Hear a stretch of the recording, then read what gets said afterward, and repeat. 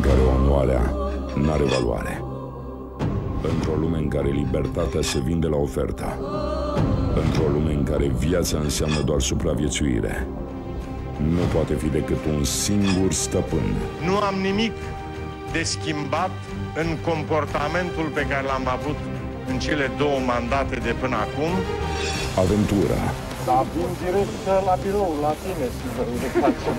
trădare, Între nevoia de consolidare a justiției și reflexul firesc de a-ți apăra fratele, aleg suspans, Corpul de control al primului ministru a constatat nereguli în achiziția de teren a familiei mele la Nana.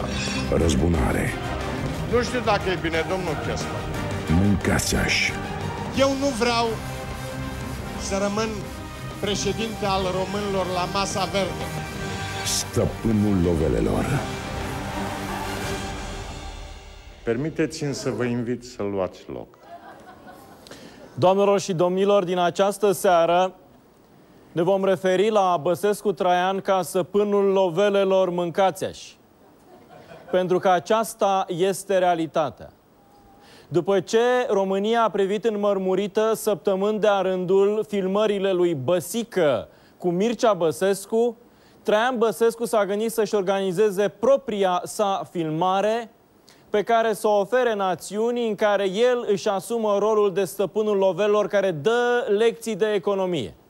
Ceva mai abject încă n-am văzut.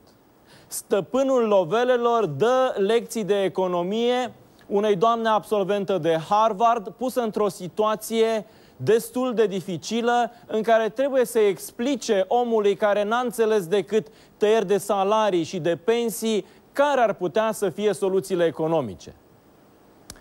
Dragi prieteni, în seara asta să luăm lecții de economie de la stăpânul lovelelor. Lecții de economie mâncați pentru că de-a lungul anilor a dat lecții de economie. Credeți-mă, e tare. E prea tare să ratați în această seară, pentru că lecții de economie încearcă acești indivizi și această familie să ne dea de vreo 10 ani. Păi să le vedem care sunt lecțiile de economie. O să vedeți, de exemplu, în această seară cum este programul Prima Casă de la stat. Cum să pierzi un miliard pentru statul român și pentru tine să faci rost de mai multe miliarde. E un program economic tare, tare de tot, de la stă- stăpânul lovelelor pentru toată lumea, fără număr, dar mai ales pentru ai săi. O să fie o seară, credeți-mă, merită. În studioul nostru se află Ionuț Cristache, pregătit cu dezvăluiri noi, noi și tari. Bună seara! L-am prezentat primul pentru că în felul acesta am vrut să introduc și dezvăluirile noi pe care le avem pentru seara aceasta. Generalul Pavel Abraham, bună, bună seara! seara. Jurnalistul de mare prestigiu Radu Tudor, bună seara! Bună seara, Mihai. Bună seara. Și președintele grupului de investigații politice Mugur Ciuvic. Bună, Bună seara. Dragi prieteni, de vreo 24 de ore, stăpânul lovelelor încearcă să ne explice, domne, că nu se pricep la economie nici Victor Ponta, nici ministrul finanțelor. Ministrul al finanțelor se află în acest moment, doamna Petrescu, a absolvit una dintre cele mai importante universități din lume, Harvard, era profesor la Maryland, profesor la o universitate aproape la fel de prestigioasă ca Harvard și îi cheamă să facă și el propria filmare, așa cum a făcut Băsic. El știe clar că va da acea filmare, filmează cu mai multe camere, plan, contraplan, încearcă să arate că măcar la filmări e mai bun decât Băsic. Nu știm dacă și în cravată avea o cameră. Ei bine, ce încearcă el să demonstreze? Că știe ce este MTO-ul. Măi, stăpânul lovelelor. Hai să vedem ce lecții de economie se pot lua și mai ales nu se pot lua de la stăpânul lovelelor. Până înainte de a vedea cu minte îngrozitor în acea întâlnire Traian Băsescu, haideți să vedem prima lecție de economie. Prima lecție de economie se referă la faptul că în cea mai mare criză economică pe care a văzut-o România, Ministrul al Finanțelor nu pune vreun absolvent de facultăți prestigioase și care să înțeleagă economie, trendurile economice, care să înțeleagă în ce pericol era România, îl pune ministru pe un inginer. Inginerul Pogea nu era finanțist, în tot guvernul nu exista un singur finanțist. Prim-ministru, profesorașul de provincie Emil Boc, cel care nu era nimic mai mult decât o slugă, și pe Pogea inginer. Dacă cumva n-ați înțeles cine a condus finanțele României în cea mai mare criză, haideți să vă arăt eu. Prima lecție economică de la stăpânul Lovelelor, în momentul în care intri în cea mai mare criză economică, pune cei mai incompetenți oameni. Să vedem ce o ieși din asta. Diferența de 488 de milioane de euro va fi finanțată de la bugetul de stat. Deci banii aceștia vor fi acordați complementar împrumutului de la BEI. Ultima tragere din împrumut va fi 31 a 12 a 2014, motiv pentru care nu pot decât să le urez colegilor mei de la Metrorec și domnului ministru Berceanu să facă lucrări cât mai rapide și mai bune pentru modernizarea traficului de călători în București. Acum eu vă întreb așa pe dumneavoastră, dacă ați avea de ales pentru Ministerul de Finanțe pe cineva care predă economie la una dintre cele mai puternice universități din lume, care a terminat Universitatea Harvard printre primii, și Pogea, inginerul care era subordonatul lui Videanu. Videanu și el, un om de mare caracter, mare valoare, doar acuzat de subminarea economiei naționale. Pe cine ați alege?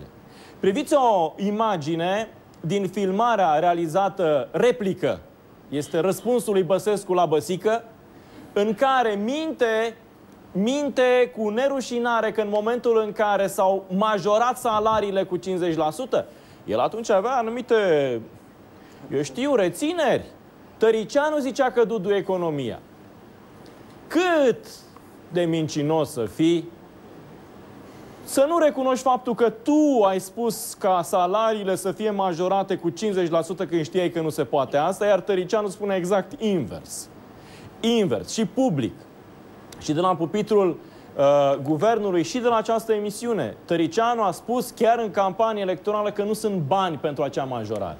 Priviți filmări de la din înregistrarea replica lui Băsescu la Băsică și cu minciunile sinistre spuse în acea întâlnire. Eu am mai avut o întâmplare în 2008 cu salariile la profesori. Și acum parcă-l văd pe Tăricianu când spunea merge, avem de unde, duduie economia, n-aveam cifrele pe trimestru 4, că era în 2008, în trimestru 4 2008 și abia prin februarie am aflat cifrele că noi intrasem din octombrie în cea mai grea cădere economică și știu că am promulgat-o tot așa pe vot unanim în Parlament și pe urmă n-a fost bine deloc când am constatat că nu se poate plăti. Problema e următoarea. Așa funcționează o țară democratică. Guvernul propune, Parlamentul votează, dumneavoastră dacă vreți promulgați, dacă nu o retrimiteți. Restul, cu tot respectul, eu n-am încredere în gândirea dumneavoastră economică, că am trăit-o, ea era în America. Eu am trăit și creșterea TVA-ului și toate celelalte. Deci sunt gândiri, școli diferite. Deocamdată noi avem creștere economică, avem locuri de muncă, vrem să mergem în această direcție. Domnul prim Dumneavoastră aveți un drept constituțional pe care nu l-a economică nimeni. nu vi se datorează, ci vi se datorează măsurilor din 2010 și mă, eu am mai văzut un prim-ministru la fel de uh, irresponsabil, Tăricianu, care pentru alegeri a făcut ce a făcut și a suportat uh, guvernul Boc costul uh, utilizării banilor publici pentru campanie. În Parlament este o veselie totală, se aprobă orice. Eu mă mir că n-au aprobat și o majorare mai mare de 50%, fără să calculeze efectele devastatoare asupra economiei. Gestul premierului de a ieși a treia zi după scripturi și a ataca PDL-ul și alte formațiuni politice care au votat salarizarea profesorilor reprezintă un gest de ipocrizie și responsabilitate. Acest guvern ori aplică legea, ori pleacă. Vă informez că am promulgat legea salarizării profesorilor. Am considerat că această lege este oportună. Ideea că nu sunt bani. Nu. este o realitate, bugetul poate fi așezat pe priorități.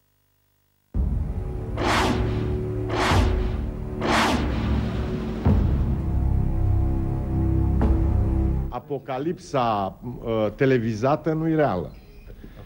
Deci, dacă în fiecare seară dați la televizor 200 uh, de muncitori au fost disponibilizați, 300 din altă parte, 200 din altă parte. Pentru oameni se creează impresia dezastrului. În realitate, sunt costuri ale acestei crize, dar pe fond industria românească funcționează. Standard pur în evaluarea pe care a făcut-o României nu este credibilă. Pentru un motiv simplu. În comunicatul dat publicității de depreciere a ratingului de țară pentru România, de la 3B la 2B, Standard pur nu vorbește nimic despre datoria publică a României, vorbește despre datoria uh, privată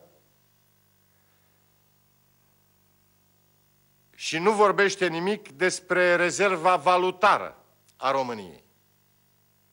Și nici nu face nicio referire la politica monetară a băncii naționale. Eu nu mă războiesc cu standard în pur. E ușor să dai ratingul României după ce n-ai reușit să vezi ce se întâmplă pe piața Statelor Unite. Și bănci cu 3 de A s-au prăbușit, iar România nu vrea să intre în criză. Ideea că nu sunt bani. Nu este o realitate. Bugetul poate fi așezat pe priorități. Sunt în mod categoric în profund dezacord cu cei care uh, propovăduiesc apocalipsa. România are mijloace să strunească această criză și nu vom fi într-o situație apocaliptică. Eu refuz categoric varianta prin care România s-ar duce acum la Fondul Monetar Internațional să spună avem nevoie de 10 miliarde. Nu vreau bani de la femei pentru că uh, îmi este foarte greu să accept ideea că ne întoarcem înapoi la mijlocul anilor 90 când împrumutam bani de la femei. Cum ce se va întâmpla? Ce se va întâmpla în relația cu fondul? Nu a impus o scădere a salariilor. România nu trebuie să crească TVA-ul. România nu trebuie să, să renunțe la cota unică de 16% pe venit. România nu trebuie să reducă salarii, România nu trebuie să reducă pensii. Le vor scădea salariile bugetarilor? Nu, nu. Așa ceva nu se poate Pentru că acest scenariu este de așa natură. Da. Acest lucru nu se poate întâmpla. Pare că ieșim din recesiune. Avem în septembrie, Acum? față de august, o creștere a producției industriale cu 21,3%, avem o creștere în construcții cu 13,2%,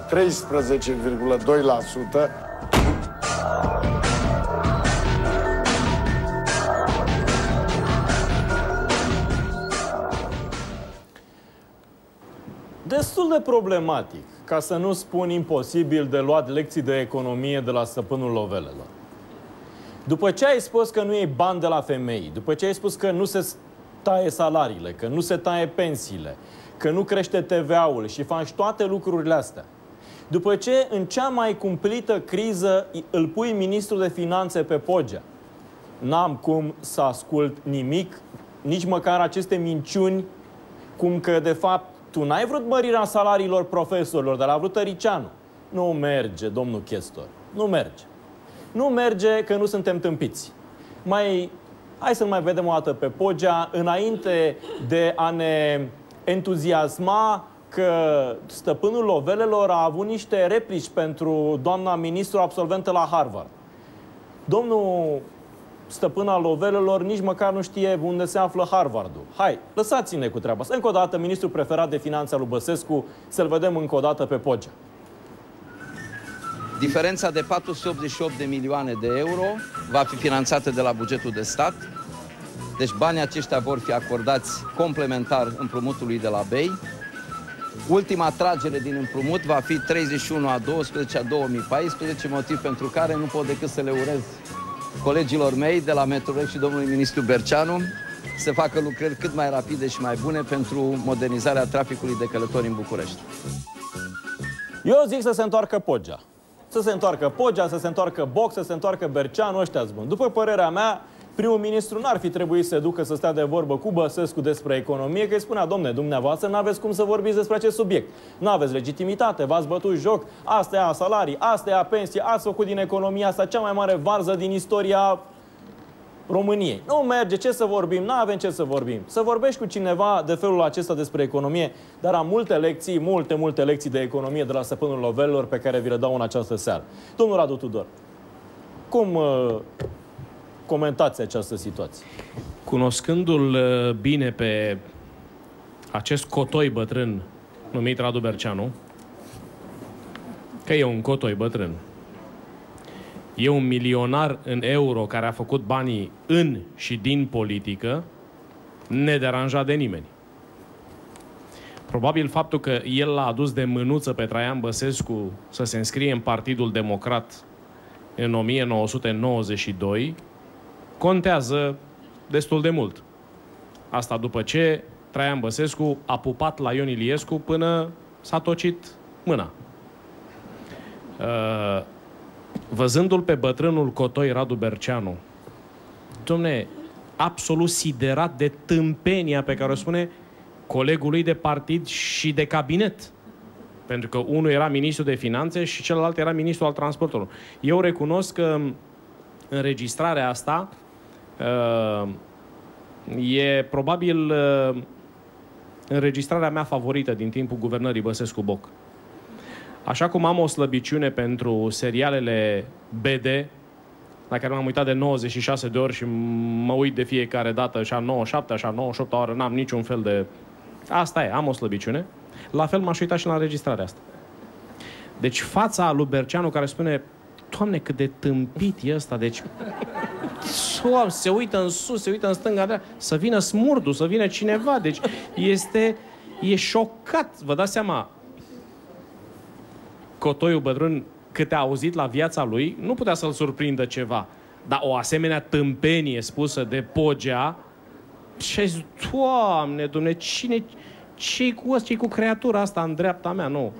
Recunosc că m-aș uita la înregistrarea asta non-stop pentru că ea reflectă oricum și inteligența guvernării Băsescu-Boc.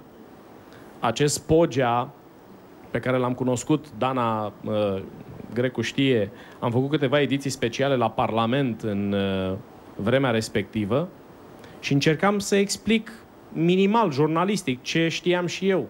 Doamne, nu mai spuneți prostiile astea, că n-aveți cum, nu vă încadrați, scade produsul intern brut, nu o să aveți bani de împrumut pe piața internațională, nu aveți de ce să vă dezvoltați. Nu știți dumneavoastră, domnul. Dana se uita așa, cum să spun, uh, cam cum se uita și puțin și Berceanu, adică era foarte jenată de, de, de ce spunea. Oricum, personajul e uh, depus în ramă uh, la colecția de fluturi, nu la, la oameni, în sensul că era, să spunem, uh, jucăria de buzunar al lui Adrian Videanu. I-a fost ceva director pe la firme și așa mai departe și l-a pus ministru al finanțelor stăpânind într-o vreme de criză un domeniu despre care habar nu avea. Eu recunosc că din punct de vedere al comportamentului uman și al comunicatorului n-am fost deloc satisfăcut de ceea ce de modul în care s-a prezentat Ioana Petrescu la Cotroceni. Dar nu cred că există vreun om normal la cap, sănătos la cap în țara asta, care să conteste, așa cum a făcut Băsescu, studiile acestui om. Nu sunt mulți români care au studiat la Harvard și care predau la Maryland. Probabil pentru Băsescu asta sună ca o marcă de whisky. Maryland cu gheață, da, e bun. E bun. Uh, dar între faptul că o tânără care e timorată de prezența și de modul de manifestare al unui alt cotoi bătrân cum e Traian Băsescu și competență, e o mare, mare diferență. Eu recunosc că uh, văd genul acesta de comportament oarecum timorat la mulți oameni de bun simț. Dacă ești de bun simț, un comportament și ați văzut, a fost aproape de bădărănia lui Băsescu. Adică i-a zis, ce a zis lui, lui Victor Ponta, un, un prim-ministru la fel de irresponsabil cum sunteți dumneavoastră, era Călim Popescu Tăricianu. Doamne, să ai un dialog, să-l chem pe prim-ministru, tu să fii președinte și să-l faci irresponsabil, mie mi se pare lipsa celor șapte ani de acasă. Uh, cred că la nivelul acestor instituții nu poți chiar așa să vorbești ca la Cireșica.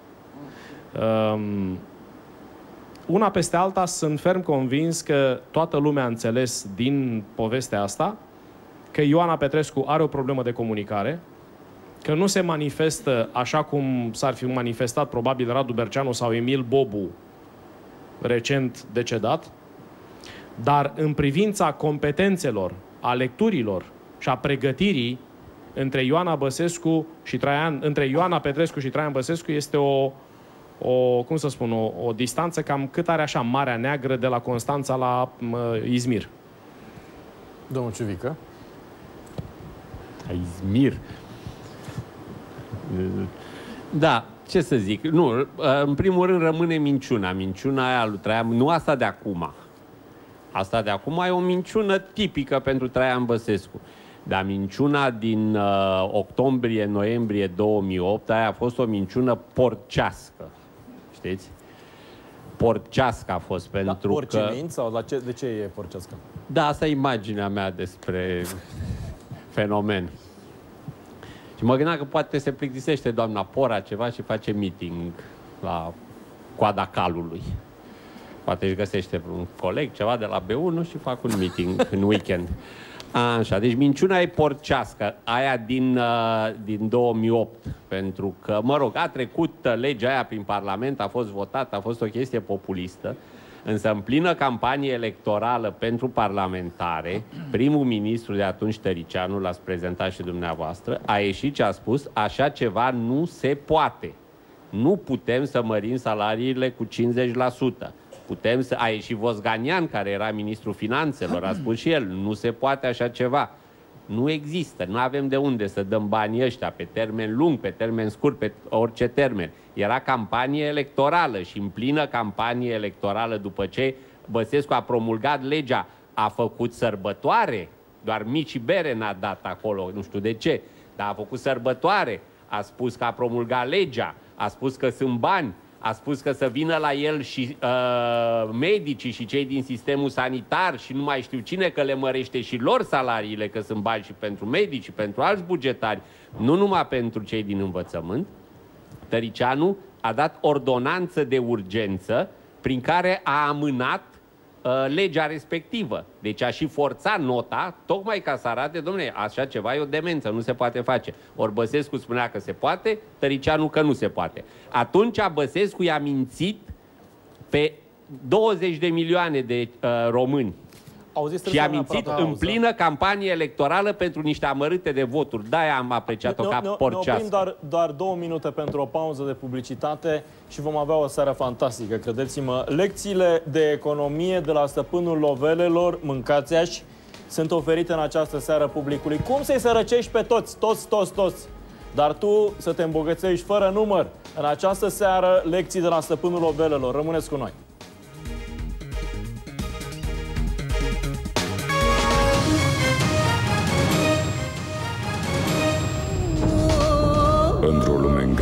În care onoarea n-are valoare. Într-o lume în care libertatea se vinde la ofertă. Într-o lume în care viața înseamnă doar supraviețuire.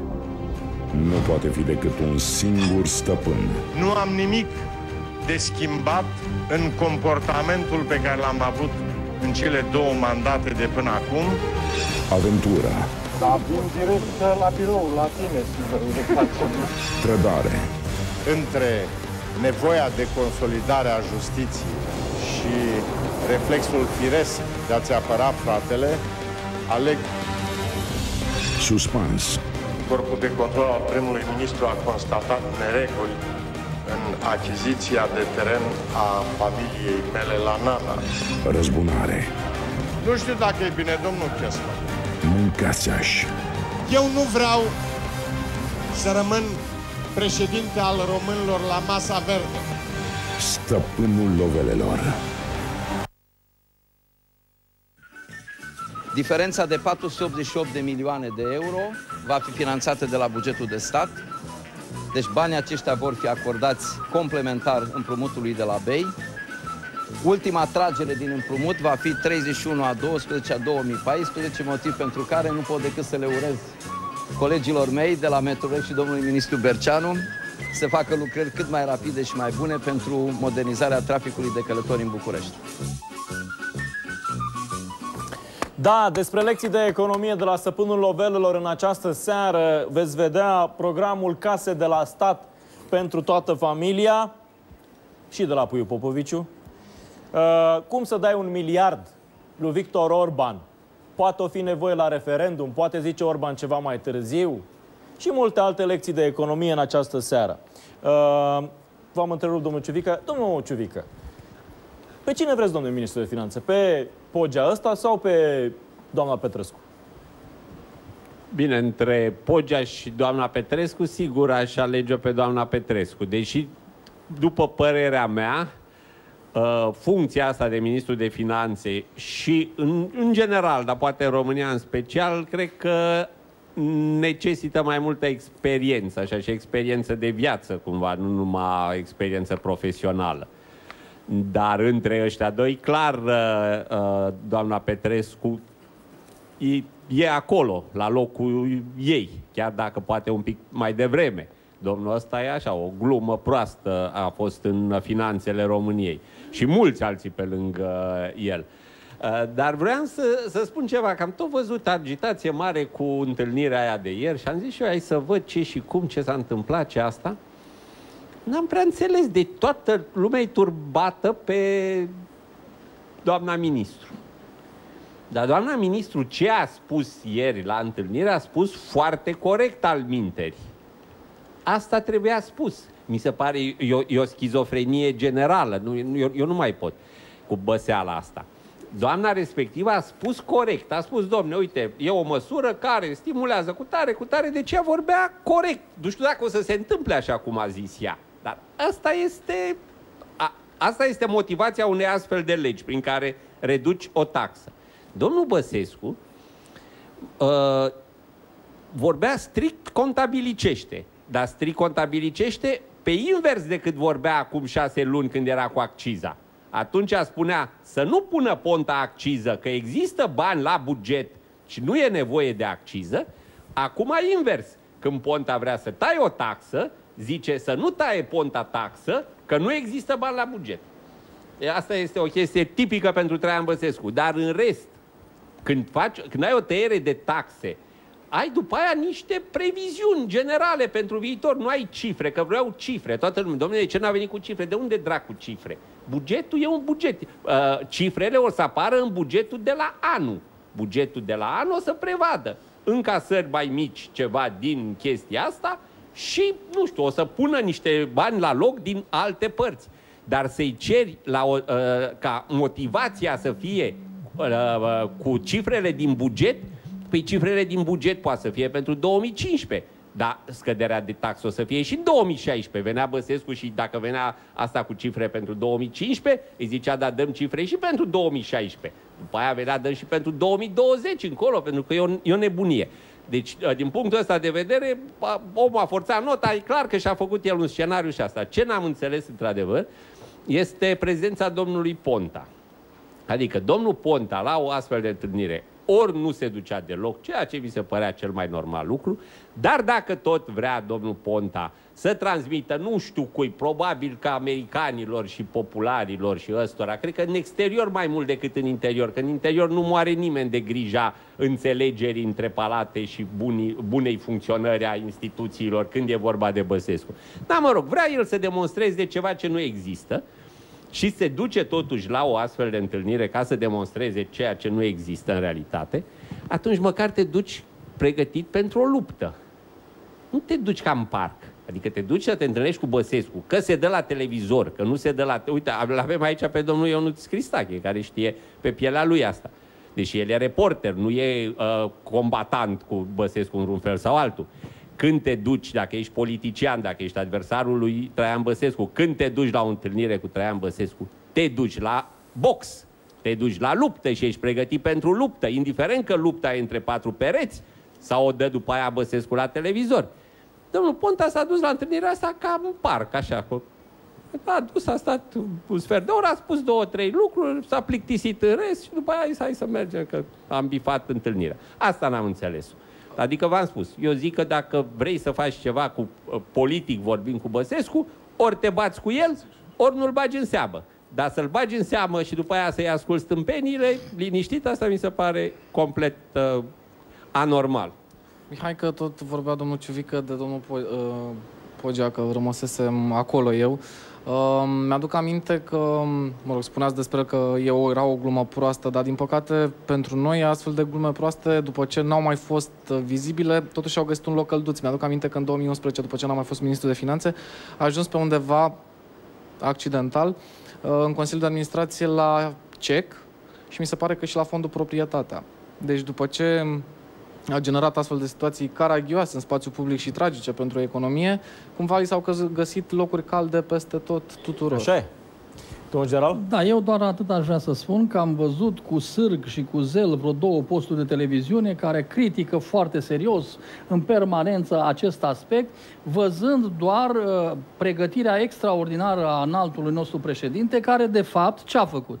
A pus în practică și îmi permis să spun o nouă golănie, o coacalma, pentru a ieși în evidență că a văzut că este în trendul descrescător, nu-l bagă nimeni în seamă și, după părerea mea, sigur, mi-aș permite să am o viziune chiar diferită de ceilalți cu privire la atitudinea domnului Ponta. Cred și eu că din rațiuni care țin de vizibilitate externă s-a prezentat la întâlnire să nu spună că nu coabitează și că nu-și ține angajamentul. Dar eu cred că există și o altă formă a luptei, aceea a ignorării. Deci primul ministru a spus câteva fraze foarte corecte și a spus dacă vreți bine, asta e regula în România, noi avem niște rezultate, se știu și pe drumul ăsta mergem.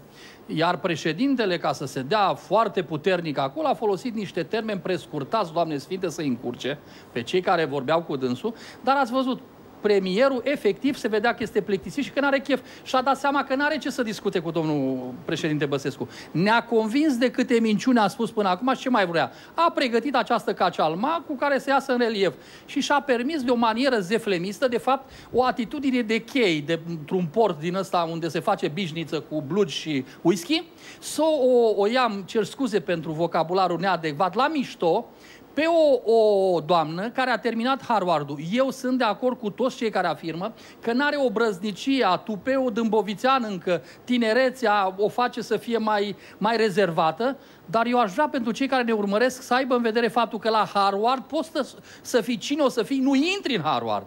Iar când ai absolvit Harvardul, e un cec în alb unde te primește oriunde în lume.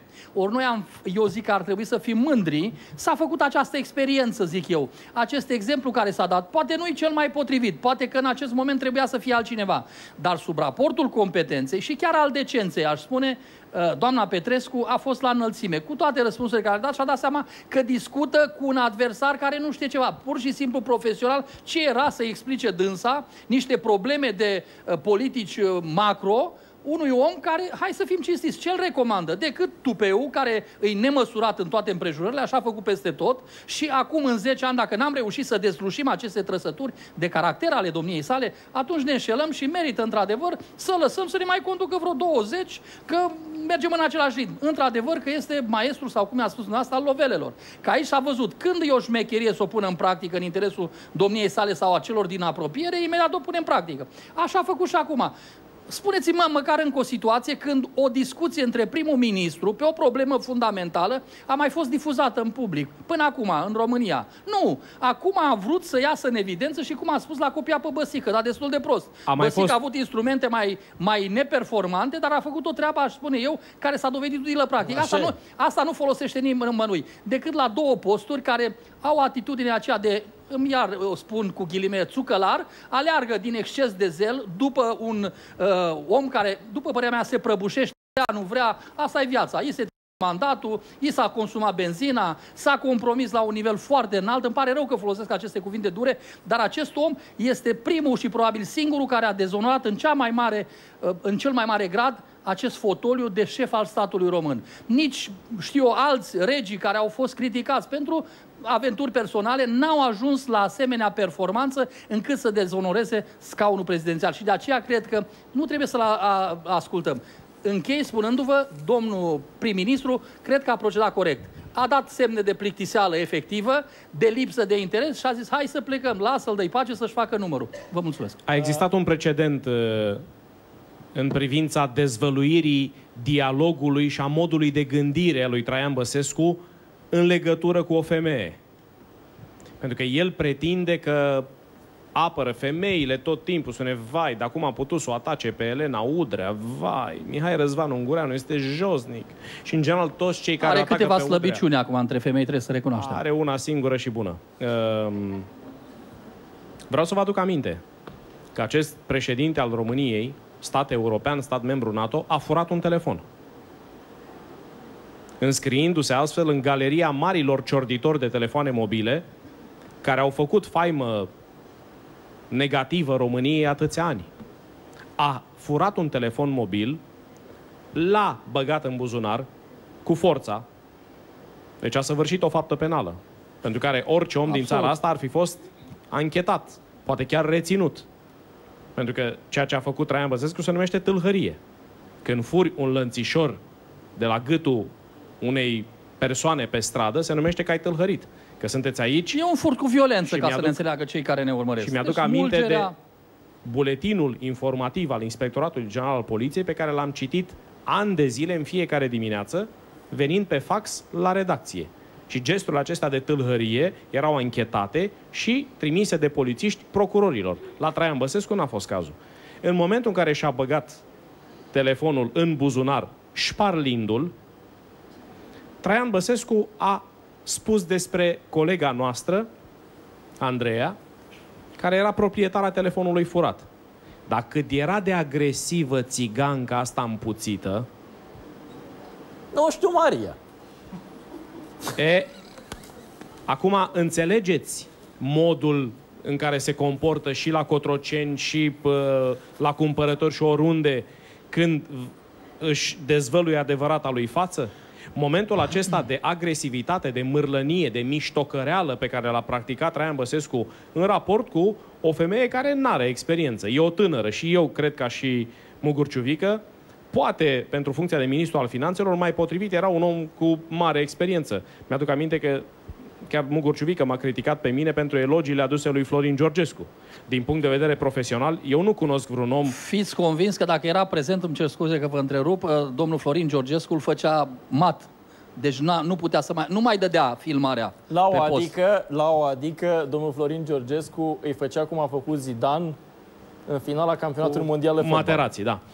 Um, vă spun cât se poate de sincer și de clar. Sunt mai multe dovezi ale modului în care Traian Băsescu gândește și vorbește și acționează atunci când vrea să umilească pe cineva, indiferent că este femeie sau bărbat. Comportamentul lui de la Cotroceni uh, are un precedent. Do- doar o vorbă, că era, a, a venit vorba despre mine.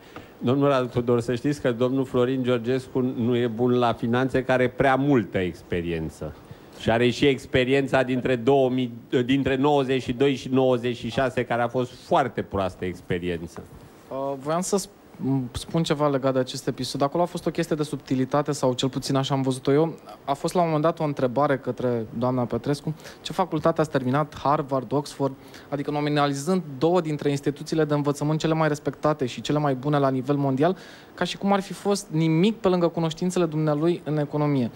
De fapt, um, raportat la mine ca tânăr, mă gândesc că mă, cu toții ne-am chinuit într-un fel sau altul să studiem ceva, să fim buni în ceva și în cele de, din urmă să rămânem în țara asta așa, fără valori, distrusă și așa mai departe, încercând să construim ceva. Stăteam și mă gândeam ce-o fi fost în capul acelei fete, că până la urmă e o fată, e o tânără, gândindu-se, uite cum se șterge acest om cu toți anii mei de trudă pe picioare, că până la urmă despre asta e vorba. Bravo, domnul Cristache. Uh, ador și opiniile dumneavoastră, eu sunt exact la fel ca dumneavoastră. Domnule, eu vreau să vă spun ceva. Uite, eu o să o invit, uite, în seara asta, Fără să doamna iau ministru, apărarea doamna sa. Petrescu, dacă cumva vă uitați la această emisiune sau dacă vă spune cineva de la guvern, eu vă invit. Eu zic așa, haideți să facem următorul experiment. Luăm tot ce a spus Traian Băsescu într-o seară despre economie, cum ar fi, de exemplu, în seara asta, că vă dăm niște lecții de economie de ale lui Băsescu de părerea mea că este posibil să se ciognească planetele în seara asta. Și o invităm într-o seară pe doamna Petrescu să ne facă o demonstrație de economie din perspectiva domniei sale. Pentru că nu poți să evaluezi pe cineva, te duci într-un loc, te hăituiește și te hărțuiește și el e șmecher, ați văzut că avea și o atitudine, era șmecher, exact ce spunea Ionuț uh, Cristache. Uh, unde ai studiat, dragă, la Harvard sau la Oxford? Nu poți să îți bagi joc de cineva. Deci era profesor la Universitatea din Maryland, uh, pe multe, nu știu, avea un salariu uriaș și vii la un salariu de 20 de ori mai mic pentru că tu crezi în țara ta, în ce ai putea să faci aici și vine unul care a făcut ce a făcut în 10 ani de zile și își bate joc. Absolvent de Johnny Walker. Uh, mă, ră- știți care e problema? Mi-e teamă că să nu le exmatriculeze Johnny Walker ăsta. Că s-ar putea să nu fie absolvent și să Dar n-ați fie... precizat cu etichetă neagră sau etichetă roșie? Nu mai contează, Johnny Walker să fie. Bun, dragi prieteni, deci o invităm pe doamna Petrescu, doamna ministru. Vă rog frumos, dacă vă uitați la emisiunea asta, dați-ne și nouă un răspuns. Vă invităm într-o seară la emisiune să vorbim puțin economie, că oamenii, uite, vor să știe la ce vă pricepeți. Până atunci, noi dăm câteva lecții de economie de la stăpânul lovelelor. Dragi prieteni, domnul stăpân al lovelelor a dat drumul la programul Prima Casă de la Stat, după care multe alte case de la privați. Uh, mai țineți minte programul Prima Casă de la stat din Mihăileanu? Păi, doamna Petrescu a învățat la Harvard, e vreun curs la Harvard. Vă învață acolo. Lăsați-l pe domnul stăpân al lovelilor și dați imaginile când ieșea cu cerșafurile din... Domne, la Harvard sau la Oxford, acolo la dumneavoastră, că ce contează Harvard-Oxford? Există cursul, dacă ajungi primar, dă-ți casă singur. Și după ce îți dai casă, vorbește tu cu procurorul general să-ți dea un nup, dar nu vorbești direct. O trimis pe doamna avocat Udrea. Hai să vedem dacă există acest curs la, curs la Harvard, că dacă nu există, bă, să se implementeze. Desigur că după aia există și cursul următor, prima casă de la Puiu Popovici. Da, e mai încolo. Că e pentru aia mică, desigur, casa trebuie să fie mare, să încapă tot partidul prezidențial. Păi, astea sunt lecții de economie, domnul stăpân al lovelilor. Nu merge. Ia să auziți pe doamna Udrea când a rezolvat ca să fie și cu NUP, neînceperea urmăririi penale. Știți, MTO-ul am înțeles, dar NUP știți sigur ce e, nu? Ia auziți-o pe doamna Udrea, că îmi place mult, mult, mult. Ia, ia să vedem. Să auzim?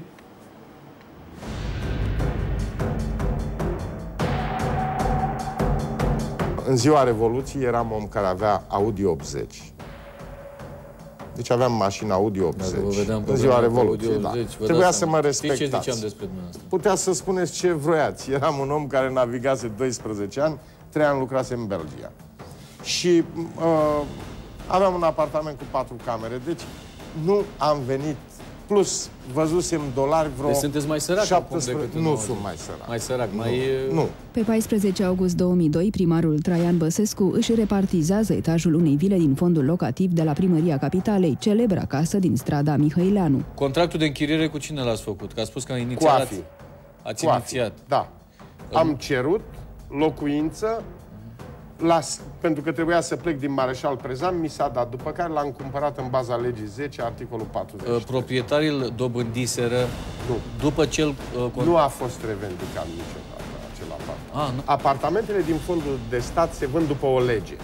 Eu am cumpărat pe legea 10, articolul 43 și 52 din legea 10, dar evaluarea lor se face conform normelor din legea 112, preț și nu știu ce. Adresa mea, domiciliul meu este pe Ștefan Mihăileanu numărul 2. Locuia pe atunci în Prezan numărul 4, unde își prelungise contractul până în martie 2003. În februarie 2003 însă se mută în casă nouă, nu în Mihăileanu, ci în Băneasa, unde își cumpărase o vilă la 21 octombrie 2002. Trei săptămâni mai târziu, la 12 noiembrie, a donat-o fiicei sale Ioana, însă a continuat să locuiască acolo până când, ca șef de stat, s-a mutat la Vila Lac 3. Dar în timp ce se muta în Băneasa, primarul Băsescu își cumpăra pe 4 februarie 2003 și etajul de vilă din Mihăileanu. Astfel, președintele Băsescu, pe când era primar al capitalei, și-a alocat casa din strada Mihăileanu, care costa circa 300.000 de euro și pe care el a cumpărat-o cu doar 19.301 dolari. Scandalul legat de casa din Mihăileanu a izbucnit în anul 2005, când Traian Băsescu era președinte. Nu președinte, dar cu sacoșele a doua zi, că v-au Super. filmat A cu fost sacoșele. formidabil ca și înțeleg că postul dumneavoastră de televiziune a fost un campion, a se întreba ce era în Noi acele suntem campioni sacoșe. de felul nostru. Deci nu, m-am nu, dus- presa în general, că n-a a apărut în, în adevărul pe prima pagină. Înainte să plec uh, în Statele Unite, îi promisesem soției de mult că fac ceva, mă, luat lenjerie și mă, tot ce mai aveam pe acolo le dau la spălat. Înainte să plec, m-am dus, am luat două sacoșe de Selgros, în care am băgat rufele astea și dacă vreți inventarul exact, s-ar putea să vi-l spun, dar e neplăcut, Nu, nu, nu, să le lăsați. trimit la spălătorie. Să ajungi... Suntem o emisiune serioasă. Să ajungi ca despre președintele României să întrebi ce fi... S-a dus pe ascuns la ora 11 ziua. Unde? În casa, în ce casă? În casa în care am domiciliu, pe buletin de... Mă, Dacă n-ați din locuit 2002. ultima dată acolo, chiar așa. Uh, și când eram primar încă mai mă locuiam acolo. Și v-ați locuit în casa cea nouă în care stă fata dumneavoastră cea mare când? Sau v-ați Nu, locuit? Am stat alternativ. Au fost perioade. cum Au asta. fost perioade, dar după ce am devenit președinte, n-a mai fost posibil să folosesc Ștefan Mihăileanu. A anunțat că va renunța la casa din Mihăileanu, dar s-a răzgândit imediat. Credeam că ziceți ceva despre casa din Mihăileanu. Nu, pentru că acolo discutăm cel mult de uh, un aspect de moralitate, dar nu de unul de ilegalitate. Până la urmă, deci rămâne încurcată cu casa. E... Da, o să-mi găsesc soluții. Ba mai mult, Traian Băsescu a fost salvat de procurorii conduși de Ilie Botoș, iar în rolul de avocat a fost Elena Udrea. Domnul Traian Băsescu a dat să primească o casă de la primărie atâta vreme cât a avut o altă repartiție de la... Domnul Traian Băsescu a primit în momentul în care a devenit ministru, a primit o locuință în Mareșal Trăzan de la RATPS pe perioada exercitării mandatului, funcției, atât. La momentul în care a devenit primar, nu mai îndeplinea aceeași condiții care au determinat RATPS-ul să-i acorde această locuință. Și RATPS-ul a notificat să părăsească imobilul. Pentru că domnul primar, la momentul acela, nu avea altă locuință în București, i-a fost prelungit pe 2 ani. Acel contract care, în mod normal, expirase, pentru că nu mai existau condiții uh, valabile la încheierea lui, fără niciun fundament, doamna Udrea, pentru că RAPPC-ul nu dă și legea nu dă locuințe de serviciu și primarilor. Așa este. Deci i-a fost prelungit acel contract pentru că nu avea unde să locuiască, urmând ca primarul Traian Băsescu să se rezolve problema locuinței cu AFI.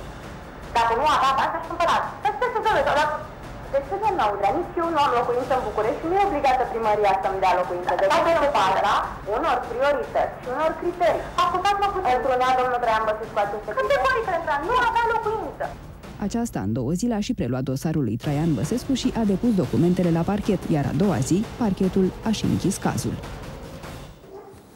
Știu, știu, e șocant, vocea doamnei Udre este șocantă, poate că și tonalitățile domniei sale ar trebui incluse în uh, uh, cursurile ce se predau la Harvard, uh, cum să-ți dai prima casă singur de la stat.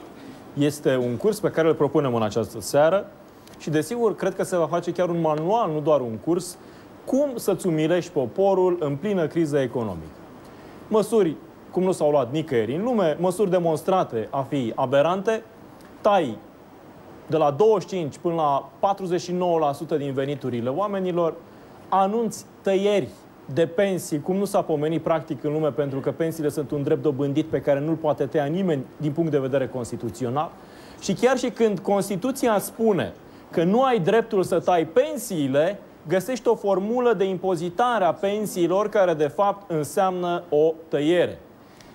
Vreau să vă dau, înainte de a vedea momentele dramatice, încă o dată momentul care pare amuzant. Vedeți dumneavoastră când îl vezi pe Pogea că vorbește și Berceanu își bate joc de el practic, nu se poate abține să nu-și bată joc de el.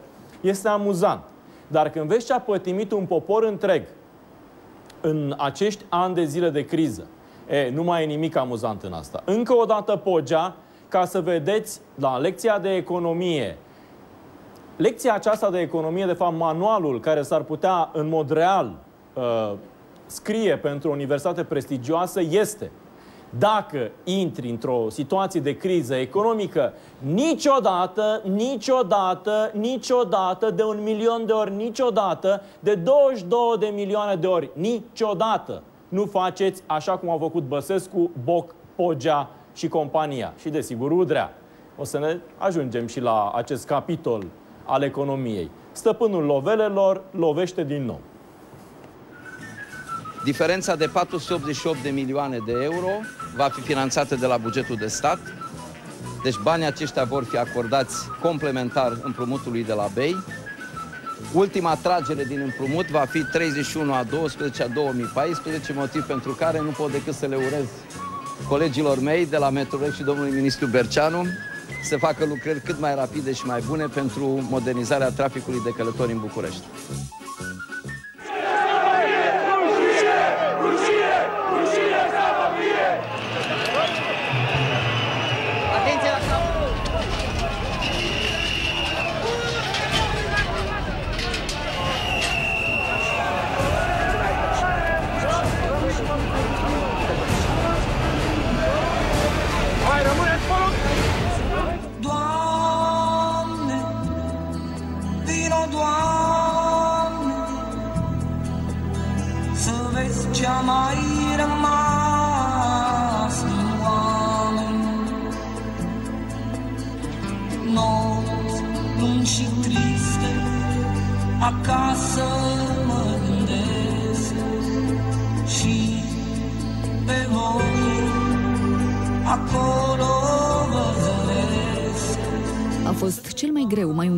Și mai frustrant an pentru români. 2010 ar fi putut să arate diferit dacă Traian Băsescu nu ar fi ascuns în 2009 adevărata dimensiune a crizei economice doar ca să câștige un al doilea mandat la Cotroceni. 2009 a fost un an dificil. Un an în care peste România a trecut criza globală care ne-a afectat, dar nu ne-a îngenunchiat. Începem un an nou, 2010 un an care trebuie dedicat reformei statului. Românii nu au îngenunchiat în fața crizei în 2009, dar au fost puși la pământ chiar de președintele lor un an mai târziu. Dacă înainte de alegerile prezidențiale Băsescu nici nu voia să audă de un împrumut de la FMI, în primăvara anului următor îl primea cu brațele deschise la București pe șeful fondului, Dominic Stroscan. Două luni mai târziu, în urma discuțiilor cu delegația FMI, veștile de la Cotroceni au căzut ca un trăznet peste cetățeni. În primul rând este vorba de reducerea fondului de salarii pentru tot aparatul bugetar din România cu 25%.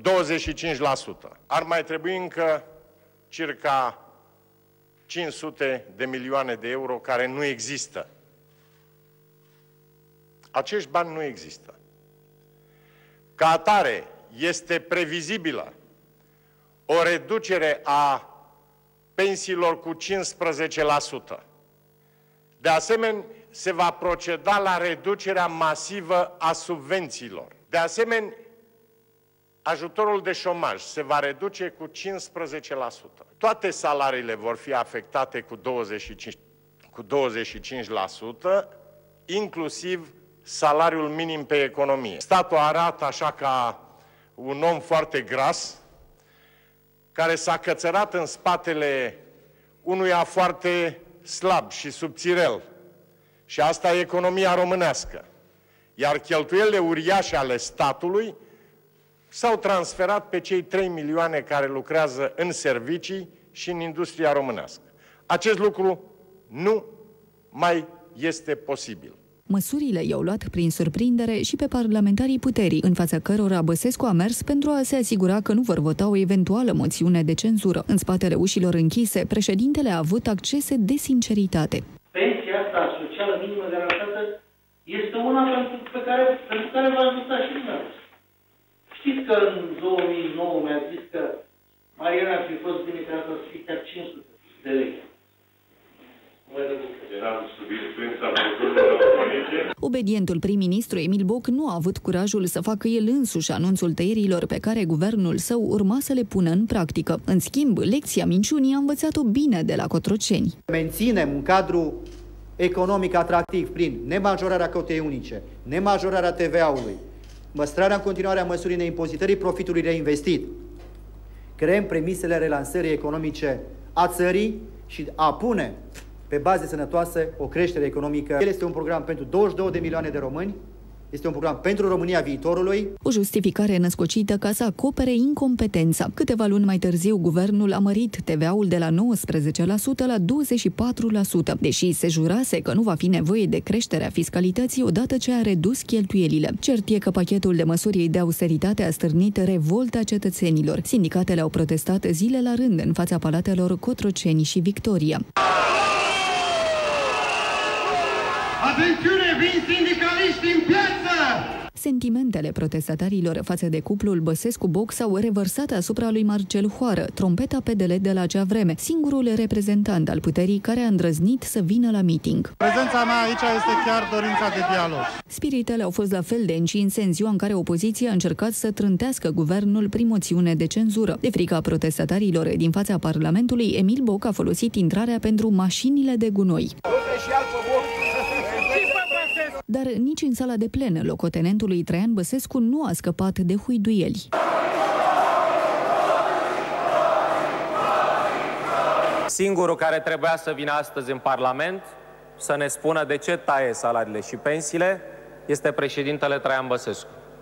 Nu cred că e normal să batem câinele pentru că stăpânul vrea să ne facă rău. Dragi români, nu se mai poate așa cu privilegiile în această țară. Domnul Boc, cred că realmente este scăzut în cap. Doar opt voturi au lipsit pentru ca guvernul Boc să fie demis. Moțiunea de cenzură a fost votată și de o parte dintre parlamentarii puterii, așa că democratul partid de guvernământ a luat o măsură fără precedent. Aleșii PDL stau în bănci la următoarele moțiuni. Cine nu se supune ordinului este exclus. Tactica i-a folosit lui Boc. A rezistat și celei de-a cincea încercări de dărâmare a executivului. Sunt convinsă că sunt și oameni de bună credință care protestează afară și înțeleg, le înțeleg motivele. Guvernul Boc rămâne ferm pe poziții, face în continuare lucrurile la care s-a asumat. Am ales calea vindecării printr-un medicament mai dur, mai puțin plăcut, dar cu consecințe benefice. În timp ce în Parlament se dezbătea moțiunea, strada își cerea din nou drepturile.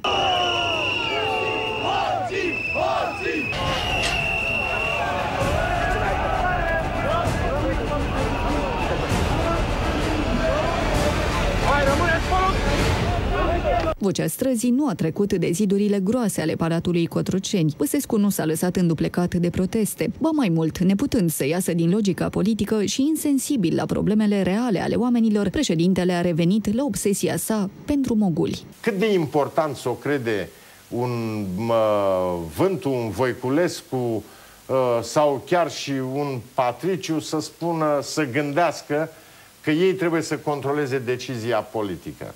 Sunt oameni deformați. Le-ar fi mers asta până în 2000. Minți bolnave care au spus să-l alungăm pe președinte cu poporul în stradă. Nu mai putem consuma mai mult decât producem dacă vrem să nu prăbușim România. Dacă medicii, profesorii, pensionarii nu au reușit să-i atragă atenția lui Băsescu, au reușit să o facă polițiștii, o altă categorie lovită dură și de tăierile salariale și de restructurările guvernului Boc, operate în numele reformei statului.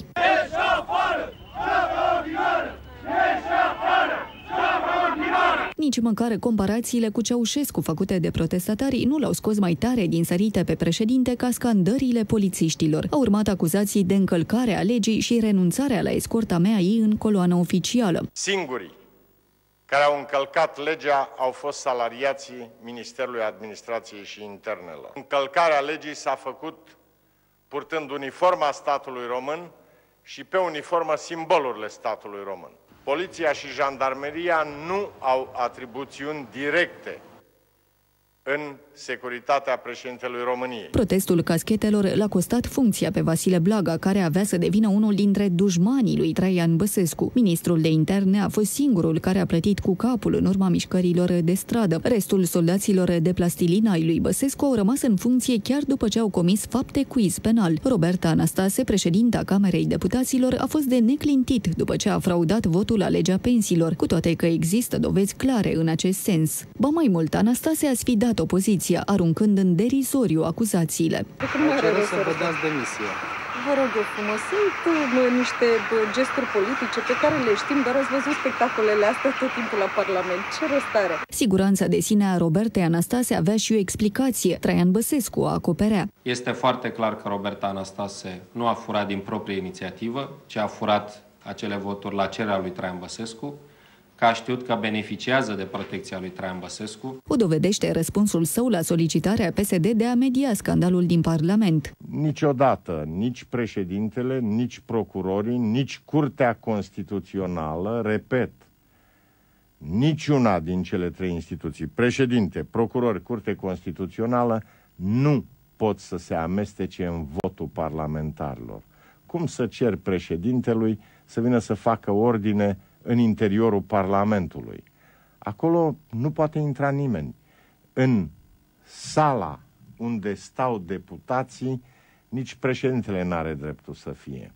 El are un loc, un scaun în Parlament. Odată adoptată, legea a dus la reducerea pensiilor prin recalculare, iar justiția lui Băsescu i-a dat Roberte Anastase neînceperea urmăririi penale. Pe plan extern, însă, Germania, preocupată deja cu salvarea Greciei, a văzut cu ochi buni măsurile de austeritate de la București. Cu toate acestea, la reuniunile liderilor europeni, Băsescu nu a contat. În timp ce România reală fierbea, sistemul construit de Traian Băsescu pentru a controla tot ce mișca funcționa în umbră. Spre finalul anului, publicarea în presă a stenogramelor din dosarul FNI, înainte ca acesta să ajungă în instanță, a acoperit mediatic subiectul crizei. Nu doresc ca România să se transforme într-un stat polițienesc în care serviciile secrete și cu procuratura fac justiția și nu justiția în sine.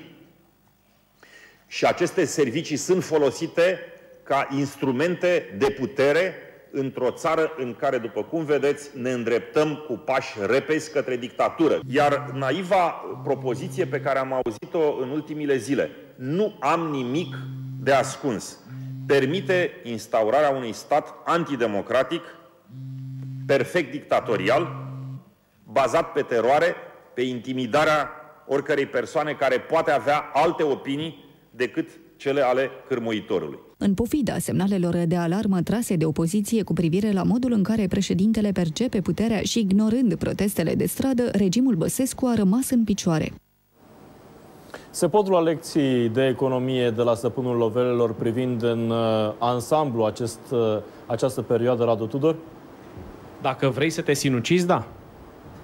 Deci cine are tendințe suicidale, Doamne ferește, de nedorit, uh, e și, cum să spun, un gest necreștinesc. Dar dacă există oameni care, mă rog, în ciuda trăirilor și a sentimentelor au tendințe suicidale, pot să urmeze sfaturile economice ale lui Traian Băsescu. Adică îți poți tăia singur pensia, urmând sfaturile lui Traian Băsescu. Dacă ți se pare că salariul tău este prea mare, ți-l poți reteza singur cu 25%. Și în momentul în care mergi la cumpărături, spui cât este TVA-ul? Păi este 20 și... E, nu, e 19%. Mai puneți, vă rog. Mai vreau da, să plătesc mai vreau mult. Vreau să plătesc, vreau să ajut. Nu Sigur. se poate așa ceva. Deci mie mi se pare că ar putea să fie o inițiativă a unor oameni care spun din proprie inițiativă îmi tai salariul meu, tai pensia părinților și când mă duc să cumpăr ceva, aș vrea să plătesc mai mult. Uh, pe scurt, pe scurt, pe scurt, vreau să mai dăm câteva dintre lecțiile de economie uh, predate de stăpânul lovelelor. După ce tai salariile, după ce tai pensiile, după ce crești taxele, domne, au rămas niște bani, ce facem cu ei? Ce facem cu banii tăiați din salarii, pensii și din TVA-ul mai mare pe care, în felul acesta, bani care vin la buget? Păi să-i dăm la prieteni sau, dacă nu sunt prea mulți, măcar una singură și de nădejde. I s-a dat prietenei de nădejde este lecția de economie de la Săpânul Lovelelor. 234 de milioane 936 de mii 47 de euro pentru ce dorește Căpreoara să investească. Niște săli de sport, niște patinoare, niște pârtii, niște părculețe la nana. Ce dorește? Telegondole să fie. Și culmea e că mi-aduc aminte că, cred că prin 2011, făceam o anchetă undeva în Suceava, erau cumpărate, fusese cumpărată căruța și pusă înaintea boilor, cumpăraseră telegondolele și stăteau în curtea unui primar pedele de acolo. Doi ani de zile au stat și au ruginit pentru că, ce să vezi, nu tăiaseră pădurea ca să facă pârtia. Și, practic, au ruginit alea, n-au mai fost bune de nimic. Nu aș vrea să mai vedem material, îmi spuneau colegii că avem și material, pentru că nu avem timp și mai avem foarte, foarte, foarte, foarte multe lucruri.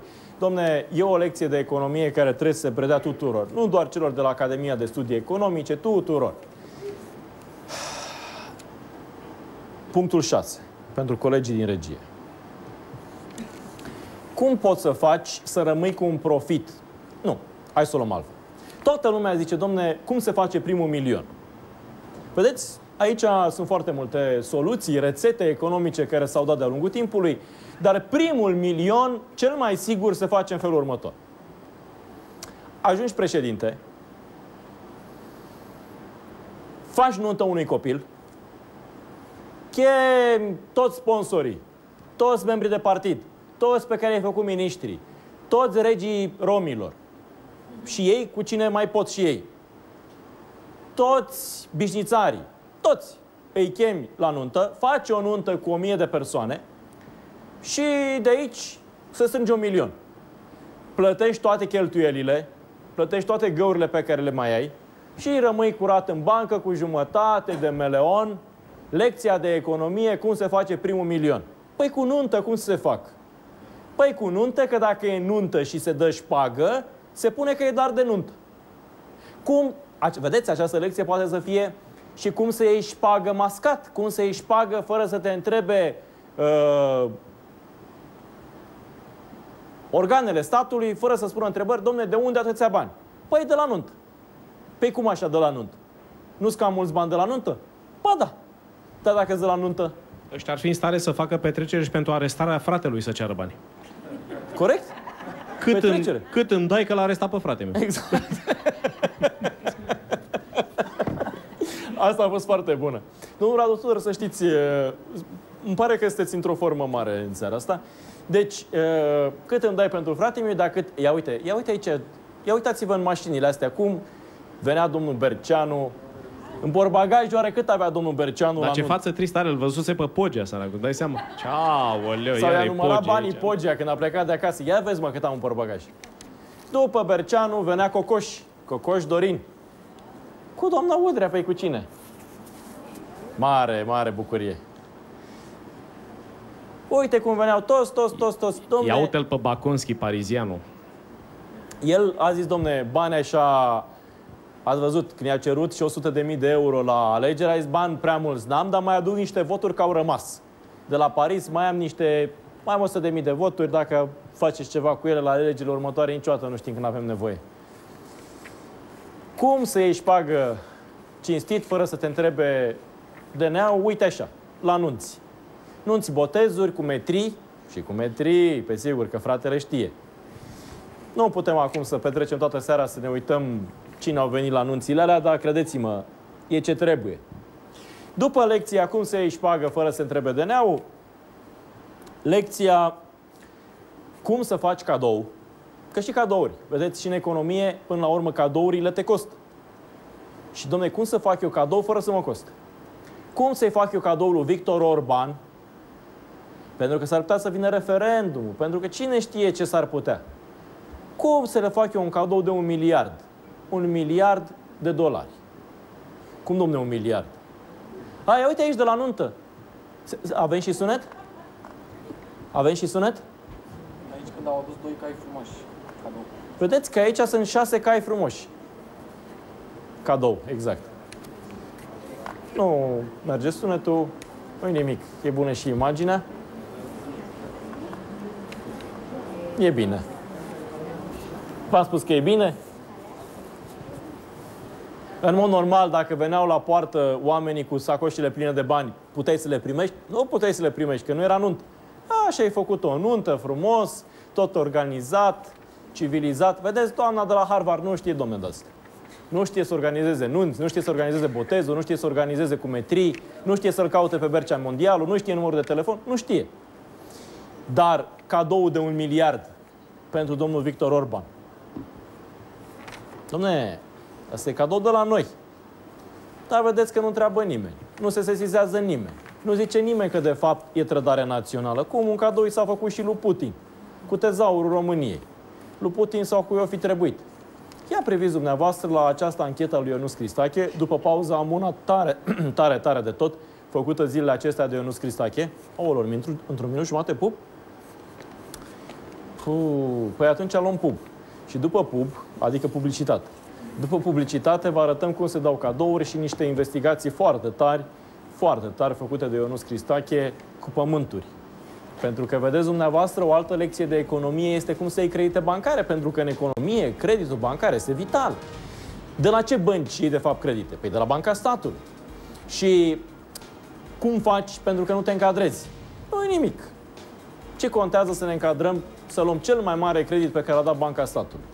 Apoi, desigur, căutăm un italian pe numele căruia se trec terenurile și apoi le luăm noi. Ce e acolo? Oamenii de la Harvard nu știu treburi de-astea. Le predă stăpânul lovelelor.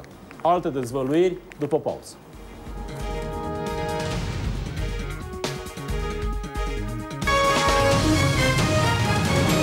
În care libertatea se vinde la oferta. Într-o lume în care viața înseamnă doar supraviețuire. Nu poate fi decât un singur stăpân. Nu am nimic de schimbat în comportamentul pe care l-am avut în cele două mandate de până acum. Aventura. Da, vin direct la birou, la tine, să facem. Trădare. Între nevoia de consolidare a justiției și reflexul firesc de a te apăra fratele, aleg Suspans. Corpul de control al primului ministru a constatat nereguli în achiziția de teren a familiei mele la Nana. Răzbunare. Nu știu dacă e bine, domnul Chesler. Mâncați-aș. Eu nu vreau să rămân președinte al românilor la masa verde. Stăpânul lovelelor.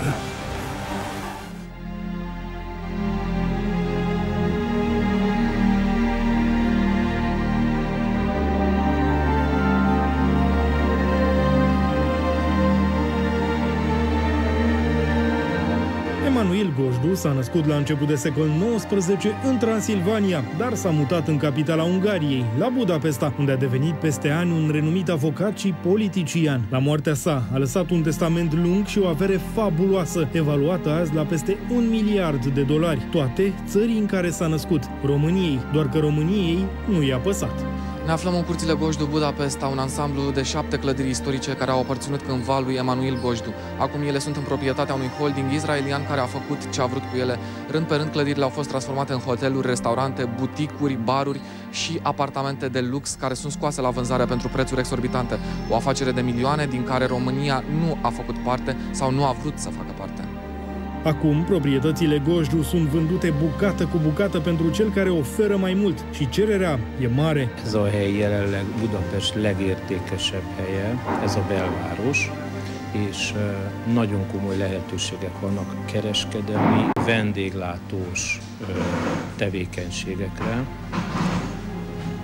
Rendkívül komoly turista forgalom van, és nagyon jól érzik magukat itt az emberek. Guvernul de la Budapesta a blocat în 1920 activitatea fundației. În 1952, fundația Gojdu a fost naționalizată de regimul comunist de la Budapesta. Comuniștii români renunțau și ei la drepturi și astfel s-a îngropat moștenirea Gojdu. În 1990, după căderea regimurilor din cele două țări, bunurile au intrat în proprietatea sectorului 7 din Budapesta până în 2003, când s-a încercat vânzarea lor. Între timp, fundația Gojdu reînființată înființată la Sibiu în 1996, făcea demersuri disperate pentru a bloca inițiativele primăriei. Proprietățile Gojdu au fost vândute la pachet mai multor firme pentru ca în final să ajungă în 2004 la o firmă israeliană. Totul părea un vis urât. Orice efort diplomatic de până atunci a fost călcat în picioare de administrația de la Budapesta. Imediat, în 2005, a venit și cireașa de pe tort. Culmea chiar din partea României la cel mai înalt nivel. Curțile Gojdu păstrează amintirea marelui mecen al românilor din Ungaria și de pretutindeni. Guvernul român și guvernul ungar înființează o fundație comună în spiritul lui Emanuel Gojdu și al prieteniei dintre cele două popoare. Practic, această placă comemorativă vine să consfințească în momentul 20 octombrie 2005, când ministrul afacerilor externe de atunci, Mihai Răzvan Ungureanu, împreună cu omologul său ungar, au semnat un acord de înființare a Fundației Române Ungare Gojdu. Atunci a fost momentul în care România a pierdut oficial orice șansă de recuperare a moștenirii Gojdu. Practic, această placă comemorativă vine să consfințească momentul 20 octombrie 2005, când ministrul de externe de atunci, Mihai Răzvan Ungureanu, a semnat un acord de înființare împreună cu omologul său ungar a Fundației Română-Ungare Gojdu. Atunci, România a pierdut oficial și cu acte orice șansă de a recâștiga moștenirea Gojdu. Prin acest acord, România se angaja, printre altele, să răscumpere alături de partea ungară o parte din proprietățile Gojdu din Budapesta și să legitimeze astfel țeapa pe care România o primise de la Ungaria, dar și statutul investitorului israelian de nou proprietar. Reprezentanții de facto ai Fundației Gojdu nu aveau habar de acțiunile Ministerului de Externe. Numai pentru faptul că ne place să credem că dacă păstrăm ceea ce altă dată alții au avut se rezolvă de la sine. Totul.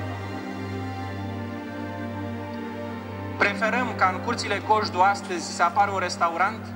Preferăm ca în curțile Gojdu la Budapesta să avem o librărie în care să fie carte ungurească? Ar fi foarte bine. Dar este ocazia să avem carte românească acolo. Este ocazia să existe o prezență românească acolo. Acesta este proiectul pe care îl aveți în față, doamnelor și domnilor cei de la externe, la vremea respectivă, nu ne-au spus că se face această fundație, se intenționează sau că va fi semnat un protocol. Acordul a fost respins de Comisia Juridică a Camerei, caz fără precedent pentru Parlamentul Român.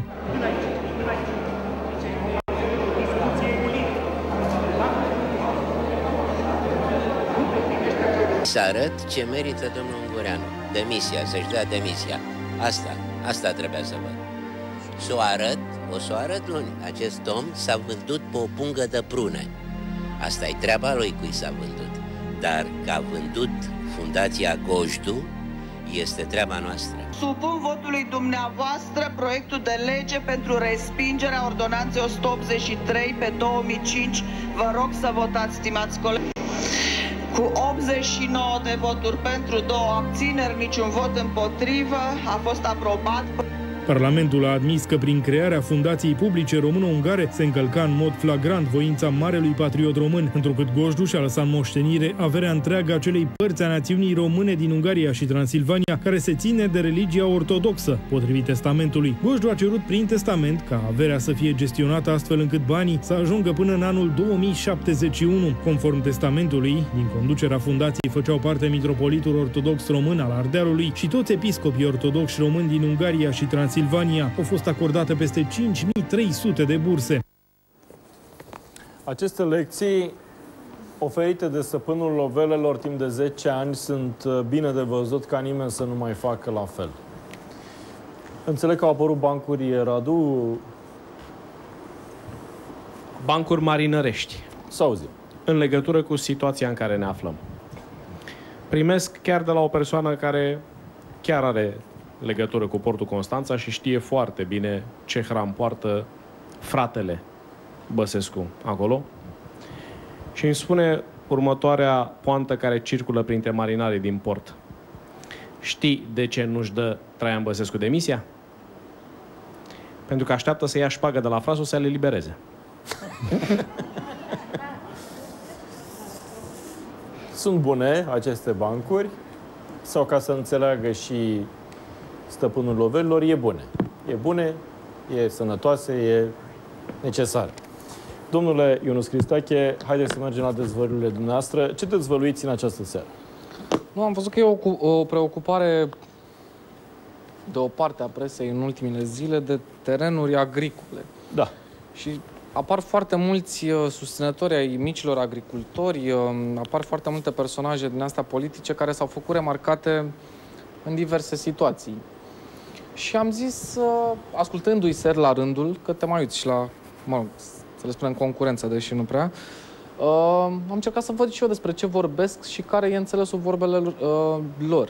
Și mi-am dat seama că mare parte din ce spun ei sunt niște minciuni. Vorbesc de personaje care cumva au pus sechestru pe terenurile agricole ale statului, vorbesc despre uh, înșelătorii, vorbesc despre um, situații frauduloase, ca după ore întregi de uh, discuții și uh, mare parte monologuri, uh, să spună că nu e nimic ilegal în toată povestea.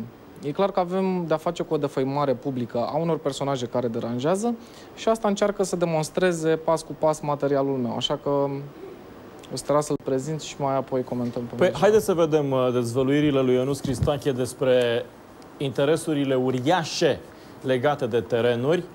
Oamenii ăștia n-au, uh, evident, ce să spună, n-au ce să dezvăluie și încep să inventeze. Păi, haideți să vedem care sunt interesele reale pe terenurile din România și ale cui.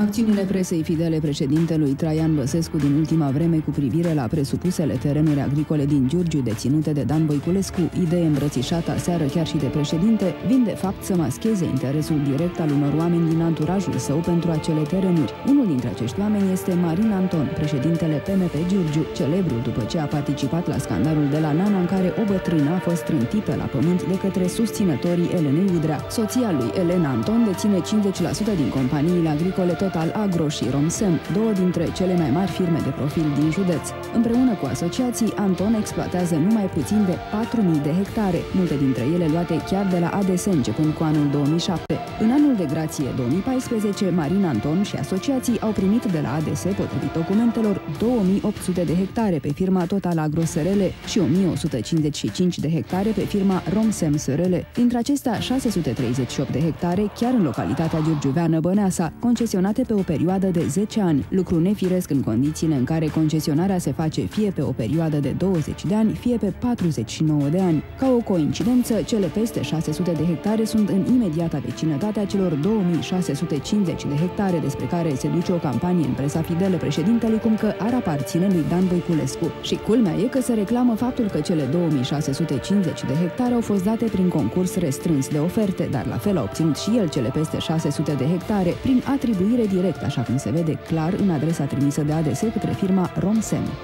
Prin prezenta vă invităm la sediul ADS București pentru negocierea contractului de concesiune prin atribuire directă, care va fi încheiat cu ADS în calitate de concedent și SC Romsem SRL în calitate de concesionar. Dar Marin Anton nu s-a oprit aici. În 2010 participă la o licitație prin care dorea să-și adjudece cele 2650 de hectare din imediata vecinătate a hectarelor lui, cele în județul cărora s-a țesut tot acest scandal. Printr-un proces verbal preliminar din data de 19 februarie 2010, ADS invită la licitație firmele interesate. Se prezintă șapte la număr. Printre ele și Romsem, firmă în care soția lui Anton deținea 50%. Documentația pentru câștigarea licitației a fost atât de bine executată de firma lui Anton încât ADS-ul constată că nu au fost îndeplinite condițiile, așa cum se arată în documentele oficiale. Conform fișei de verificare a documentelor menționate la secțiunea a treia, documente de participare, s-a constatat că documentele de participare prezentate de ofertantul Secerom Sem SRL Giurgiu nu sunt în conformitate cu procedura de concesionare. Însă Anton nu renunță așa ușor. Peste aproximativ 3 ani, ADS scoate din nou la licitație terenurile cu pricina. De data aceasta, Anton participă prin interpuși. Potrivit unui contract, Romsem se asociază cu Gungor Elisabeta. Prin această asociere, Total Agro îi pune la dispoziție lui Gungor Elisabeta toată infrastructura firmei pentru ca ea să poată câștiga licitații, așa cum se arată în contract. Asociatul Prim dorește să concesioneze terenuri agricole. Asociatul Prim este interesat să se asocieze cu persoane juridice private care dețin în proprietate utilaje agricole în scopul realizării lucrărilor agricole pe terenurile agricole ce urmează a fi concesionate.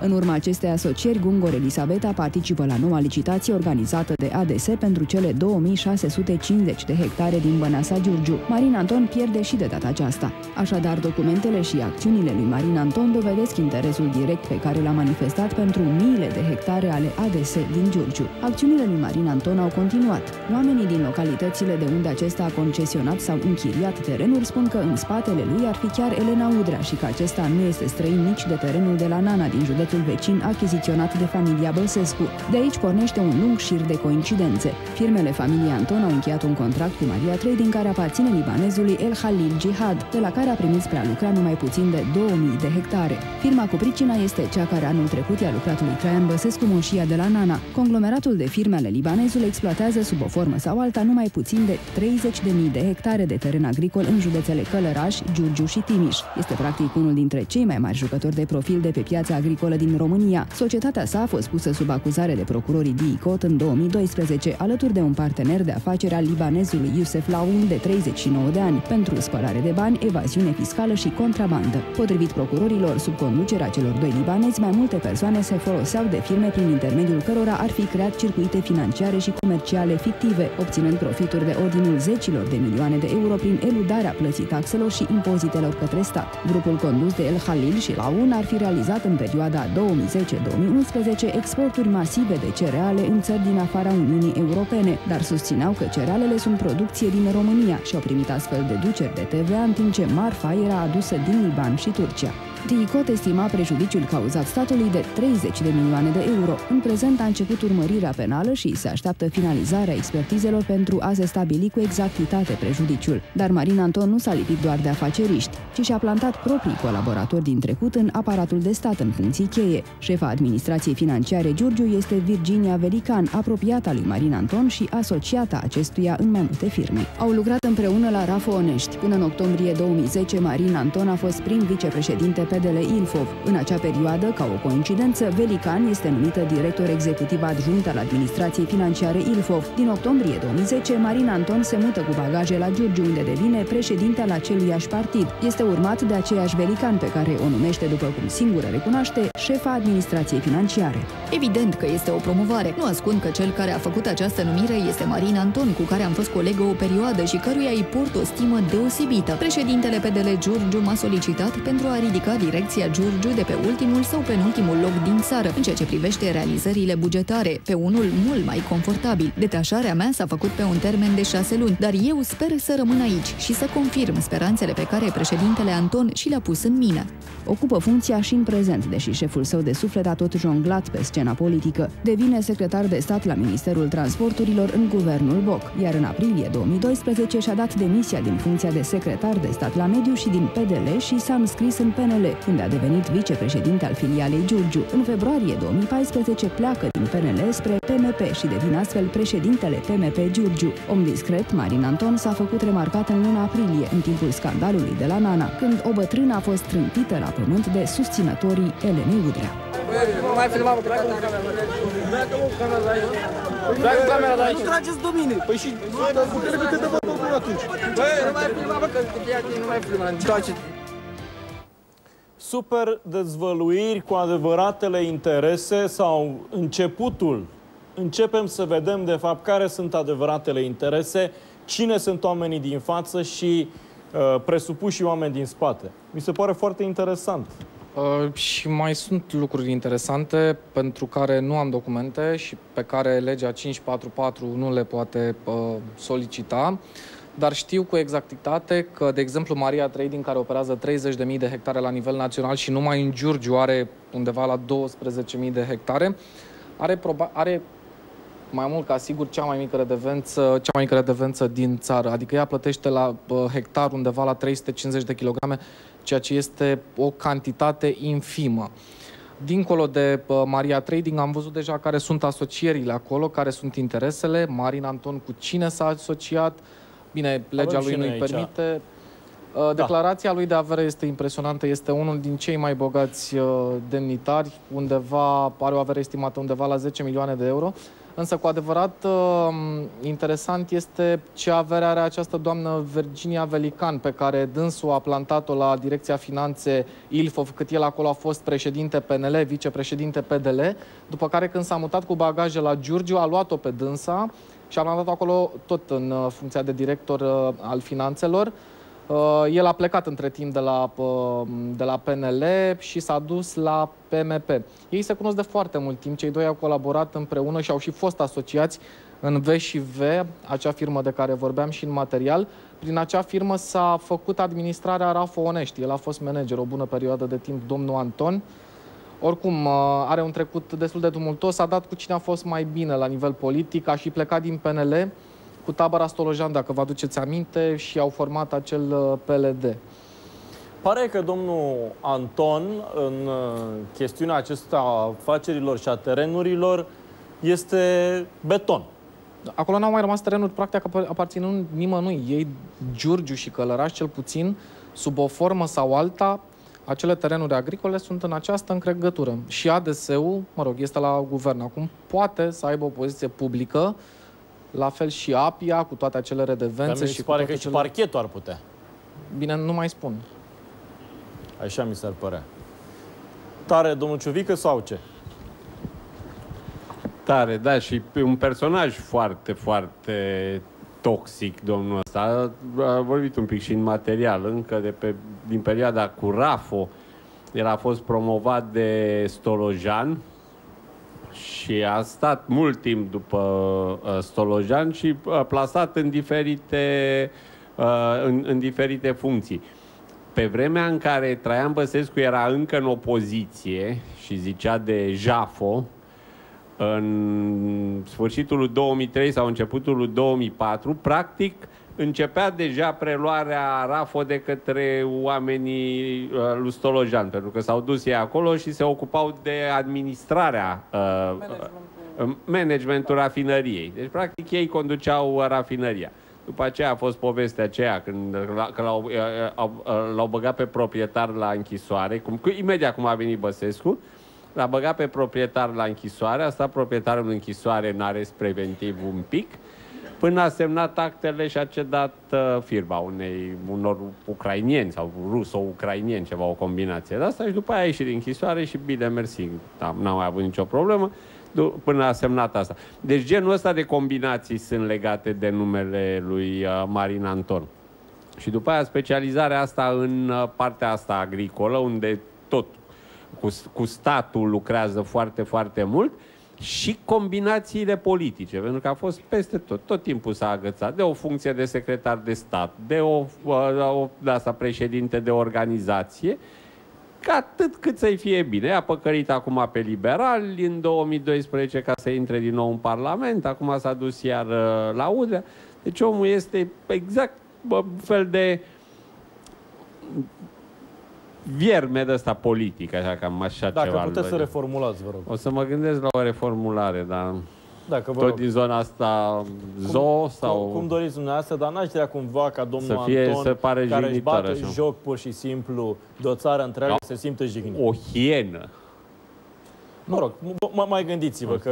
Și ar mai fi de subliniat încă un aspect. Um, Domnul uh, Anton a reușit, mă rog, și cum arătam și în anchetă, să-și mute diverse personaje acolo unde, în funcții cheie, unde bănuiesc că la un moment dat ar fi putut să presteze servicii pentru domnia sa, astfel încât lui să-i meargă bine. Păi când venise USL-ul la putere, nu era vorba că îi schimbă pe toți, toți cei numiți pe criterii politice. Vă spun că oamenii din teritoriu în continuare se plâng că mulți rezistă în poziții cheie și că în continuare fac jocurile vechii puteri. Domnule general. Și rezistă și pe la București, nu numai în provincie. Da. Dar în cazul ăsta, uh, ce să-i schimbe pe oamenii lui Anton când Anton trecuse el pe persoană fizică în USL, practic. Până acum câteva luni el a fost în USL, cum să-i schimbe oamenii lui Anton, că Anton era în USL. Domnule general, uh, vor veni noutăți în uh, dosarul Mircea Băsescu. Izaur aseară a făcut niște dezvăluiri foarte tari. Mai sunt lucruri uh, noi uh, care vor veni zilele următoare? Sigur, unele sunt cele care le-ați, le-am, au fost prezentate public, cu dosarul care pleacă o parte la Constanța, alta rămâne la București, inițial pleca tot, dar sigur, astăzi eu am fost foarte, foarte prins, am fost plecat la Giurgiu într-o altă cauză, am fost sunat de către Angel Florin și care, așa cum promisese anterior, a spus că are două înregistrări. Parchetul ne-a trimis astăzi răspuns că uh, dosarul deja a fost uh, trimis la instanță și nu mai poate să le exploateze pe cele această probă pe care noi am indicat-o. Uh, sigur, probabil în cursul zilei de mâine voi face o vizită la penitenciar, să am o discuție cu el. Dacă există, să le dea, să fie valorificate, dacă nu, nu. Dar, sigur, până acum nu m-a mințit cel puțin cu ceea ce a afirmat, așa că eu cred că și acum există așa ceva și rămâne de văzut în ce măsură și față de cine uh, aceste probe vor fi concludente. E vorba de o extindere a cercetărilor, a persoanelor care trebuie să răspundă. Deci, posibil să apară noi, noi elemente. Până atunci, sigur, avem un termen pe 17 în dosarul șantajul la Constanța și care, din câte sper eu, va fi unul destul de dur, dar sper cu rezultate pozitive pentru noi. Incredibil cum sunt în continuare acuzați de șantaj când este limpede pentru toată țara că nu-și făceau decât altceva să-și recupereze, să încerce să-și recupereze banii. Mircea? J. Ce mai faci? Pe aici, pe la uh, prăvălie. Acum Cum văd comentezi? Că nu te văd, că nu merge monitorul de control. Uite, Da, mă auzi? uite- Da, te aud, te aud. Da. Te aud. Cum comentezi?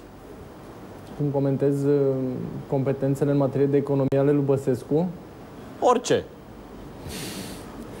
Deci nu există nimic mai disgrațios, nimic mai disgrațios decât să văd băseala în care să scaldă Băsescu cu aroganță pe temă de economie. Adică e, nu e nimic mai disgrațios decât să-l văd pe marele competent pe teme de economie care, ținem cu toții minte, spunea că România refuză să intre în criză, deși toată planeta era disperată, care spunea că nu avem nevoie de împrumut de la femei, că asta ar însemna o întoarcere în trecut, ca și cum mai putea să te întorci în viitor, nu? Da.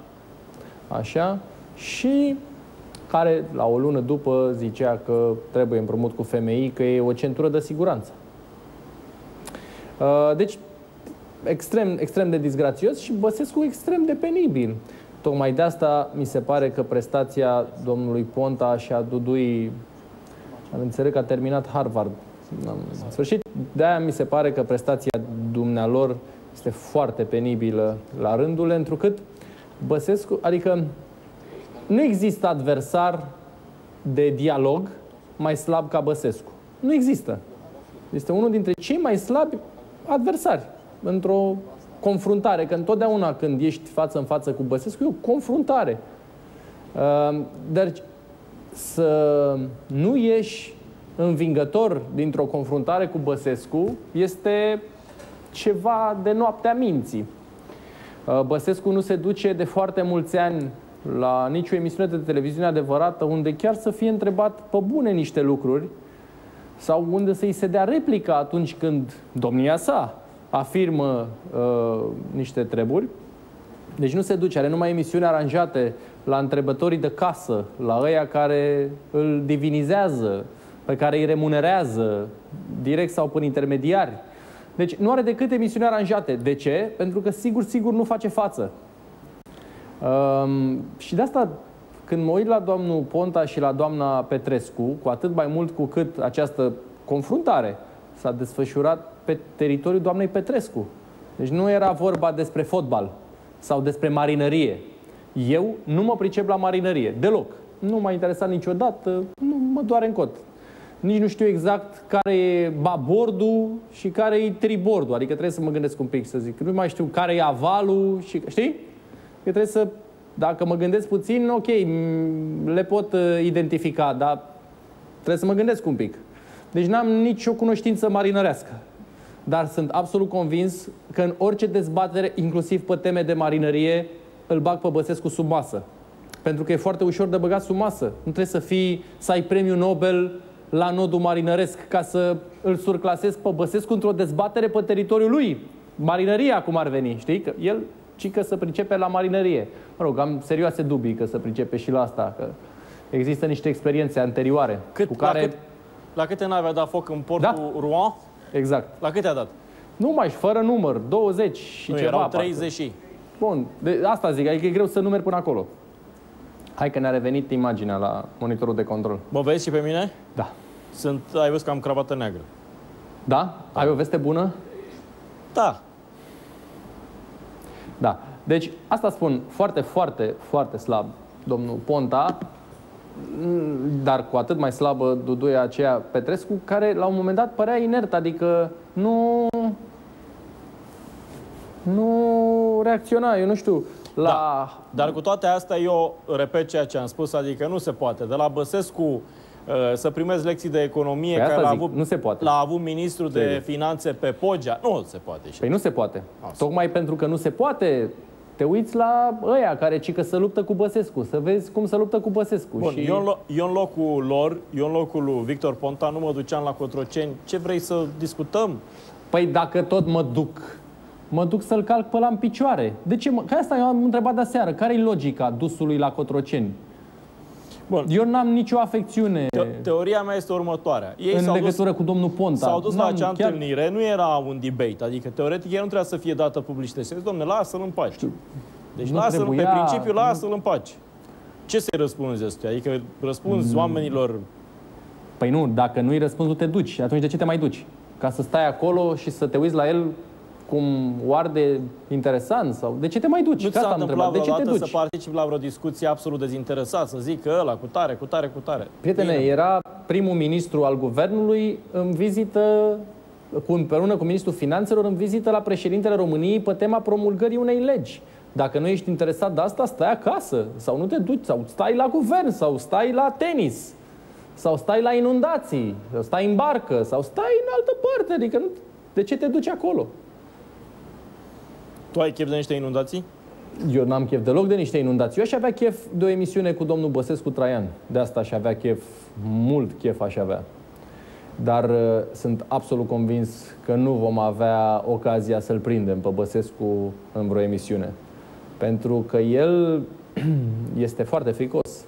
Odată este nepregătit, complet, și este extrem de vulnerabil, pentru că pff, uh, e foarte ușor de făcut Băsescu. Foarte ușor. Cel mai ușor de făcut. Pentru că are atâtea comise în această viață, încât și atâtea contradicții logice evidente, încât e, e ușor de surclasat. El nu, o se să avem duce, noroc. el nu se duce la băsiși moderați. El se duce doar la ultra și el se duce la dăia Sigur. care da. sunt slugile totale. Exact de asta. Da. La emisiune despre ce vei aborda?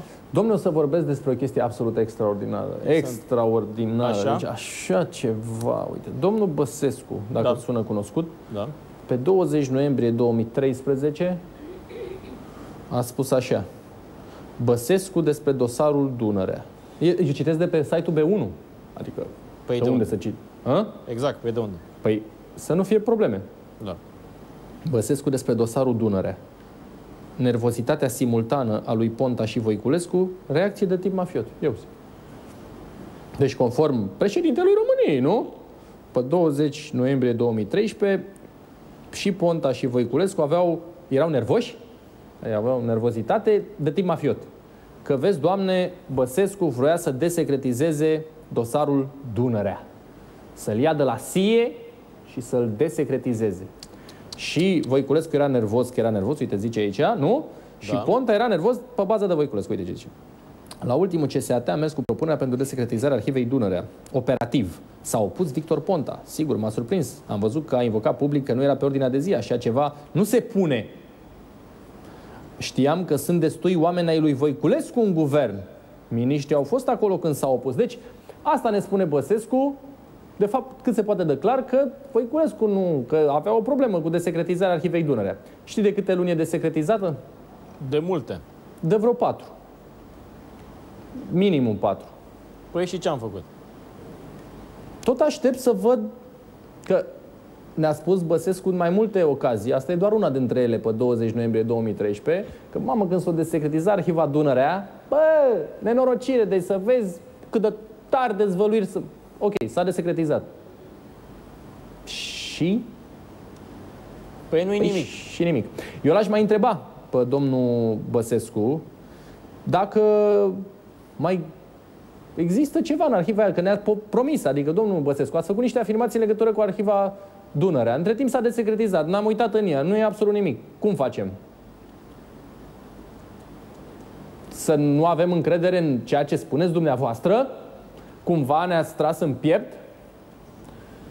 Nu? L-aș întreba asta. Bine, nu o să-l întrebe nimeni, că n-are cine. Da, dar n-ar vrea să mai întrebăm de asemenea.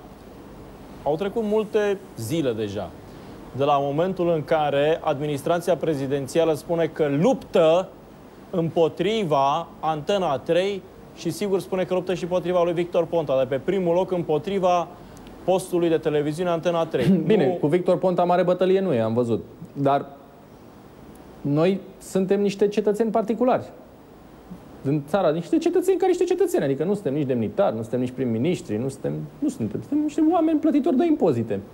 Care, uite, ne permitem noi așa să nu fim de acord cu domnul Băsescu și să nu-i trecem cu vederea abuzurile și potlogăriile. Asta e, de fapt, vina noastră principală. Atunci, salariatul nostru, Traian Băsescu, că e salariatul și al nostru, Uh, zice că se luptă cu noi, el fiind de pe poziția de președinte și având subordonate uh, direct sau prin numire de la servicii secrete până la instanțe și la structuri de procurori. Felul în care se luptă, mi se pare evident. Asta să nu se înțeleagă greșit. Eu am încredere în instituțiile statului și am, i-am spus domnului Ciuvică și astăzi m-am mai întâlnit cu dânsul așa din punct de vedere uh, telegenic.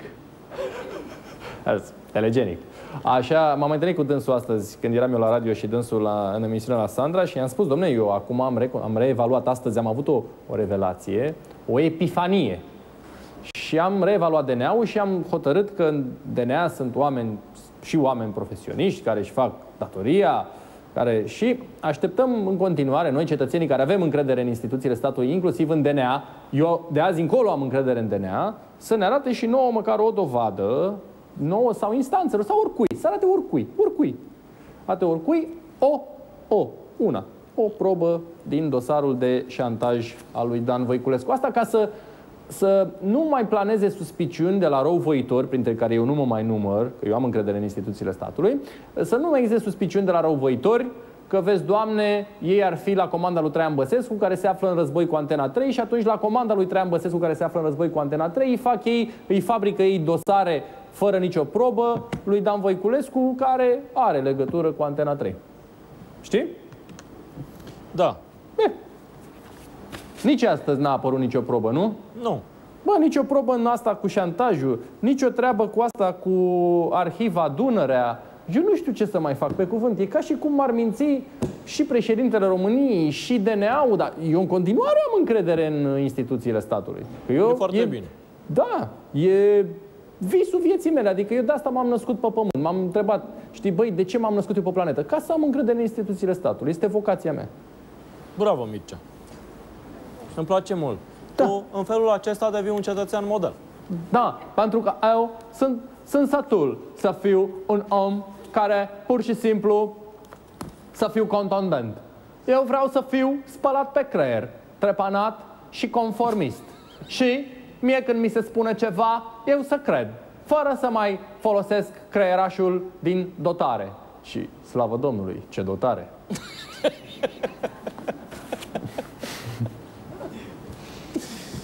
Da. Nu profiți de faptul că e Radu în studio, nu profiți de faptul că e domnul Ciuvic în studio, nu-i mai numești nicăieri. Păi nu. stai mă puțin, cum n-am profitat pe domnul Ciuvică, putem considera că l-am abuzat astăzi, fiind a doua oară când mă întâlnesc în direct cu domnia sa. Bine. Deci nu vrei să-i subordonezi prin numire niciun fel. Nu. Nu.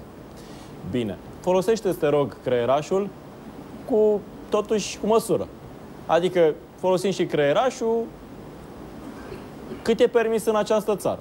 Păi, de ce să nu fie permis, Mihai? Pentru că noi avem încredere în instituțiile statului de drept, care nu contenesc a, a ne da nouă dovezi de comportament democratic, instituțional, conform cu fișa postului și interesul cetățenesc. Bravo, Mircea. Uh, îți mulțumesc foarte mult. Uh, punctul tău de vedere mă înflăcărează. Voi Da, plecați și aș spre mai casă? vrea... Nu, atât de, atât de bucuros sunt că trăiesc într-un stat de drept și atât de multă încredere am în instituțiile statului și atât de dornic să ascult tot ce mi și să urmez și să îndeplinesc în tocmai și la timp tot ce mi se spune încât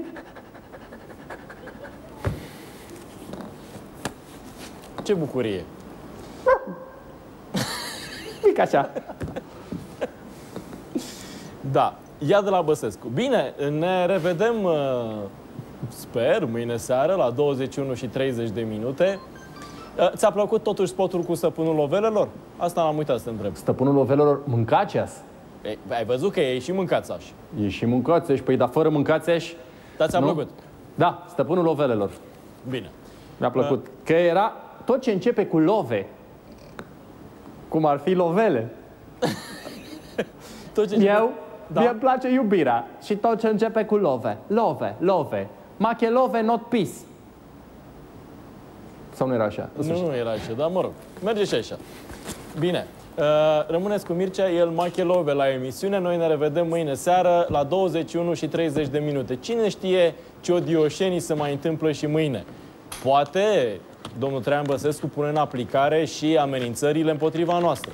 Ne amuzăm că ce să facem, altfel ne-am pierde mințile și cine își pierde simțul umorului nu poate să înțeleagă realitățile. Dar faptul că Există un președinte în România care spune în clar că rupt, luptă cu posturi de televiziune, că luptă cu instituții private, cărora ar trebui să le protejeze libertatea și dreptul de a se exprima liber. Este incredibil. Rămâneți cu Mircea, ne revedem mâine seară. Noapte bună tuturor!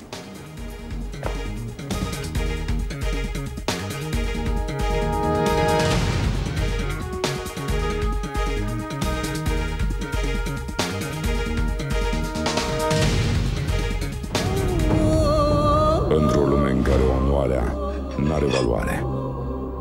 Într-o lume în care libertatea se vinde la oferta. Într-o lume în care viața înseamnă doar supraviețuire.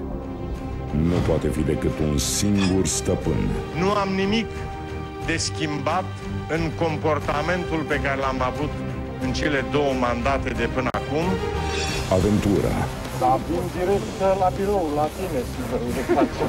trădare, Între nevoia de consolidare a justiției și reflexul firesc de a-ți apăra fratele, aleg suspans, Corpul de control al primului ministru a constatat nereguli în achiziția de teren a familiei mele la Nana. răzbunare, Nu știu dacă e bine, domnul Chesler. mâncați-aș, Eu nu vreau să rămân președinte al românilor la Masa Verde. stăpânul lovelelor.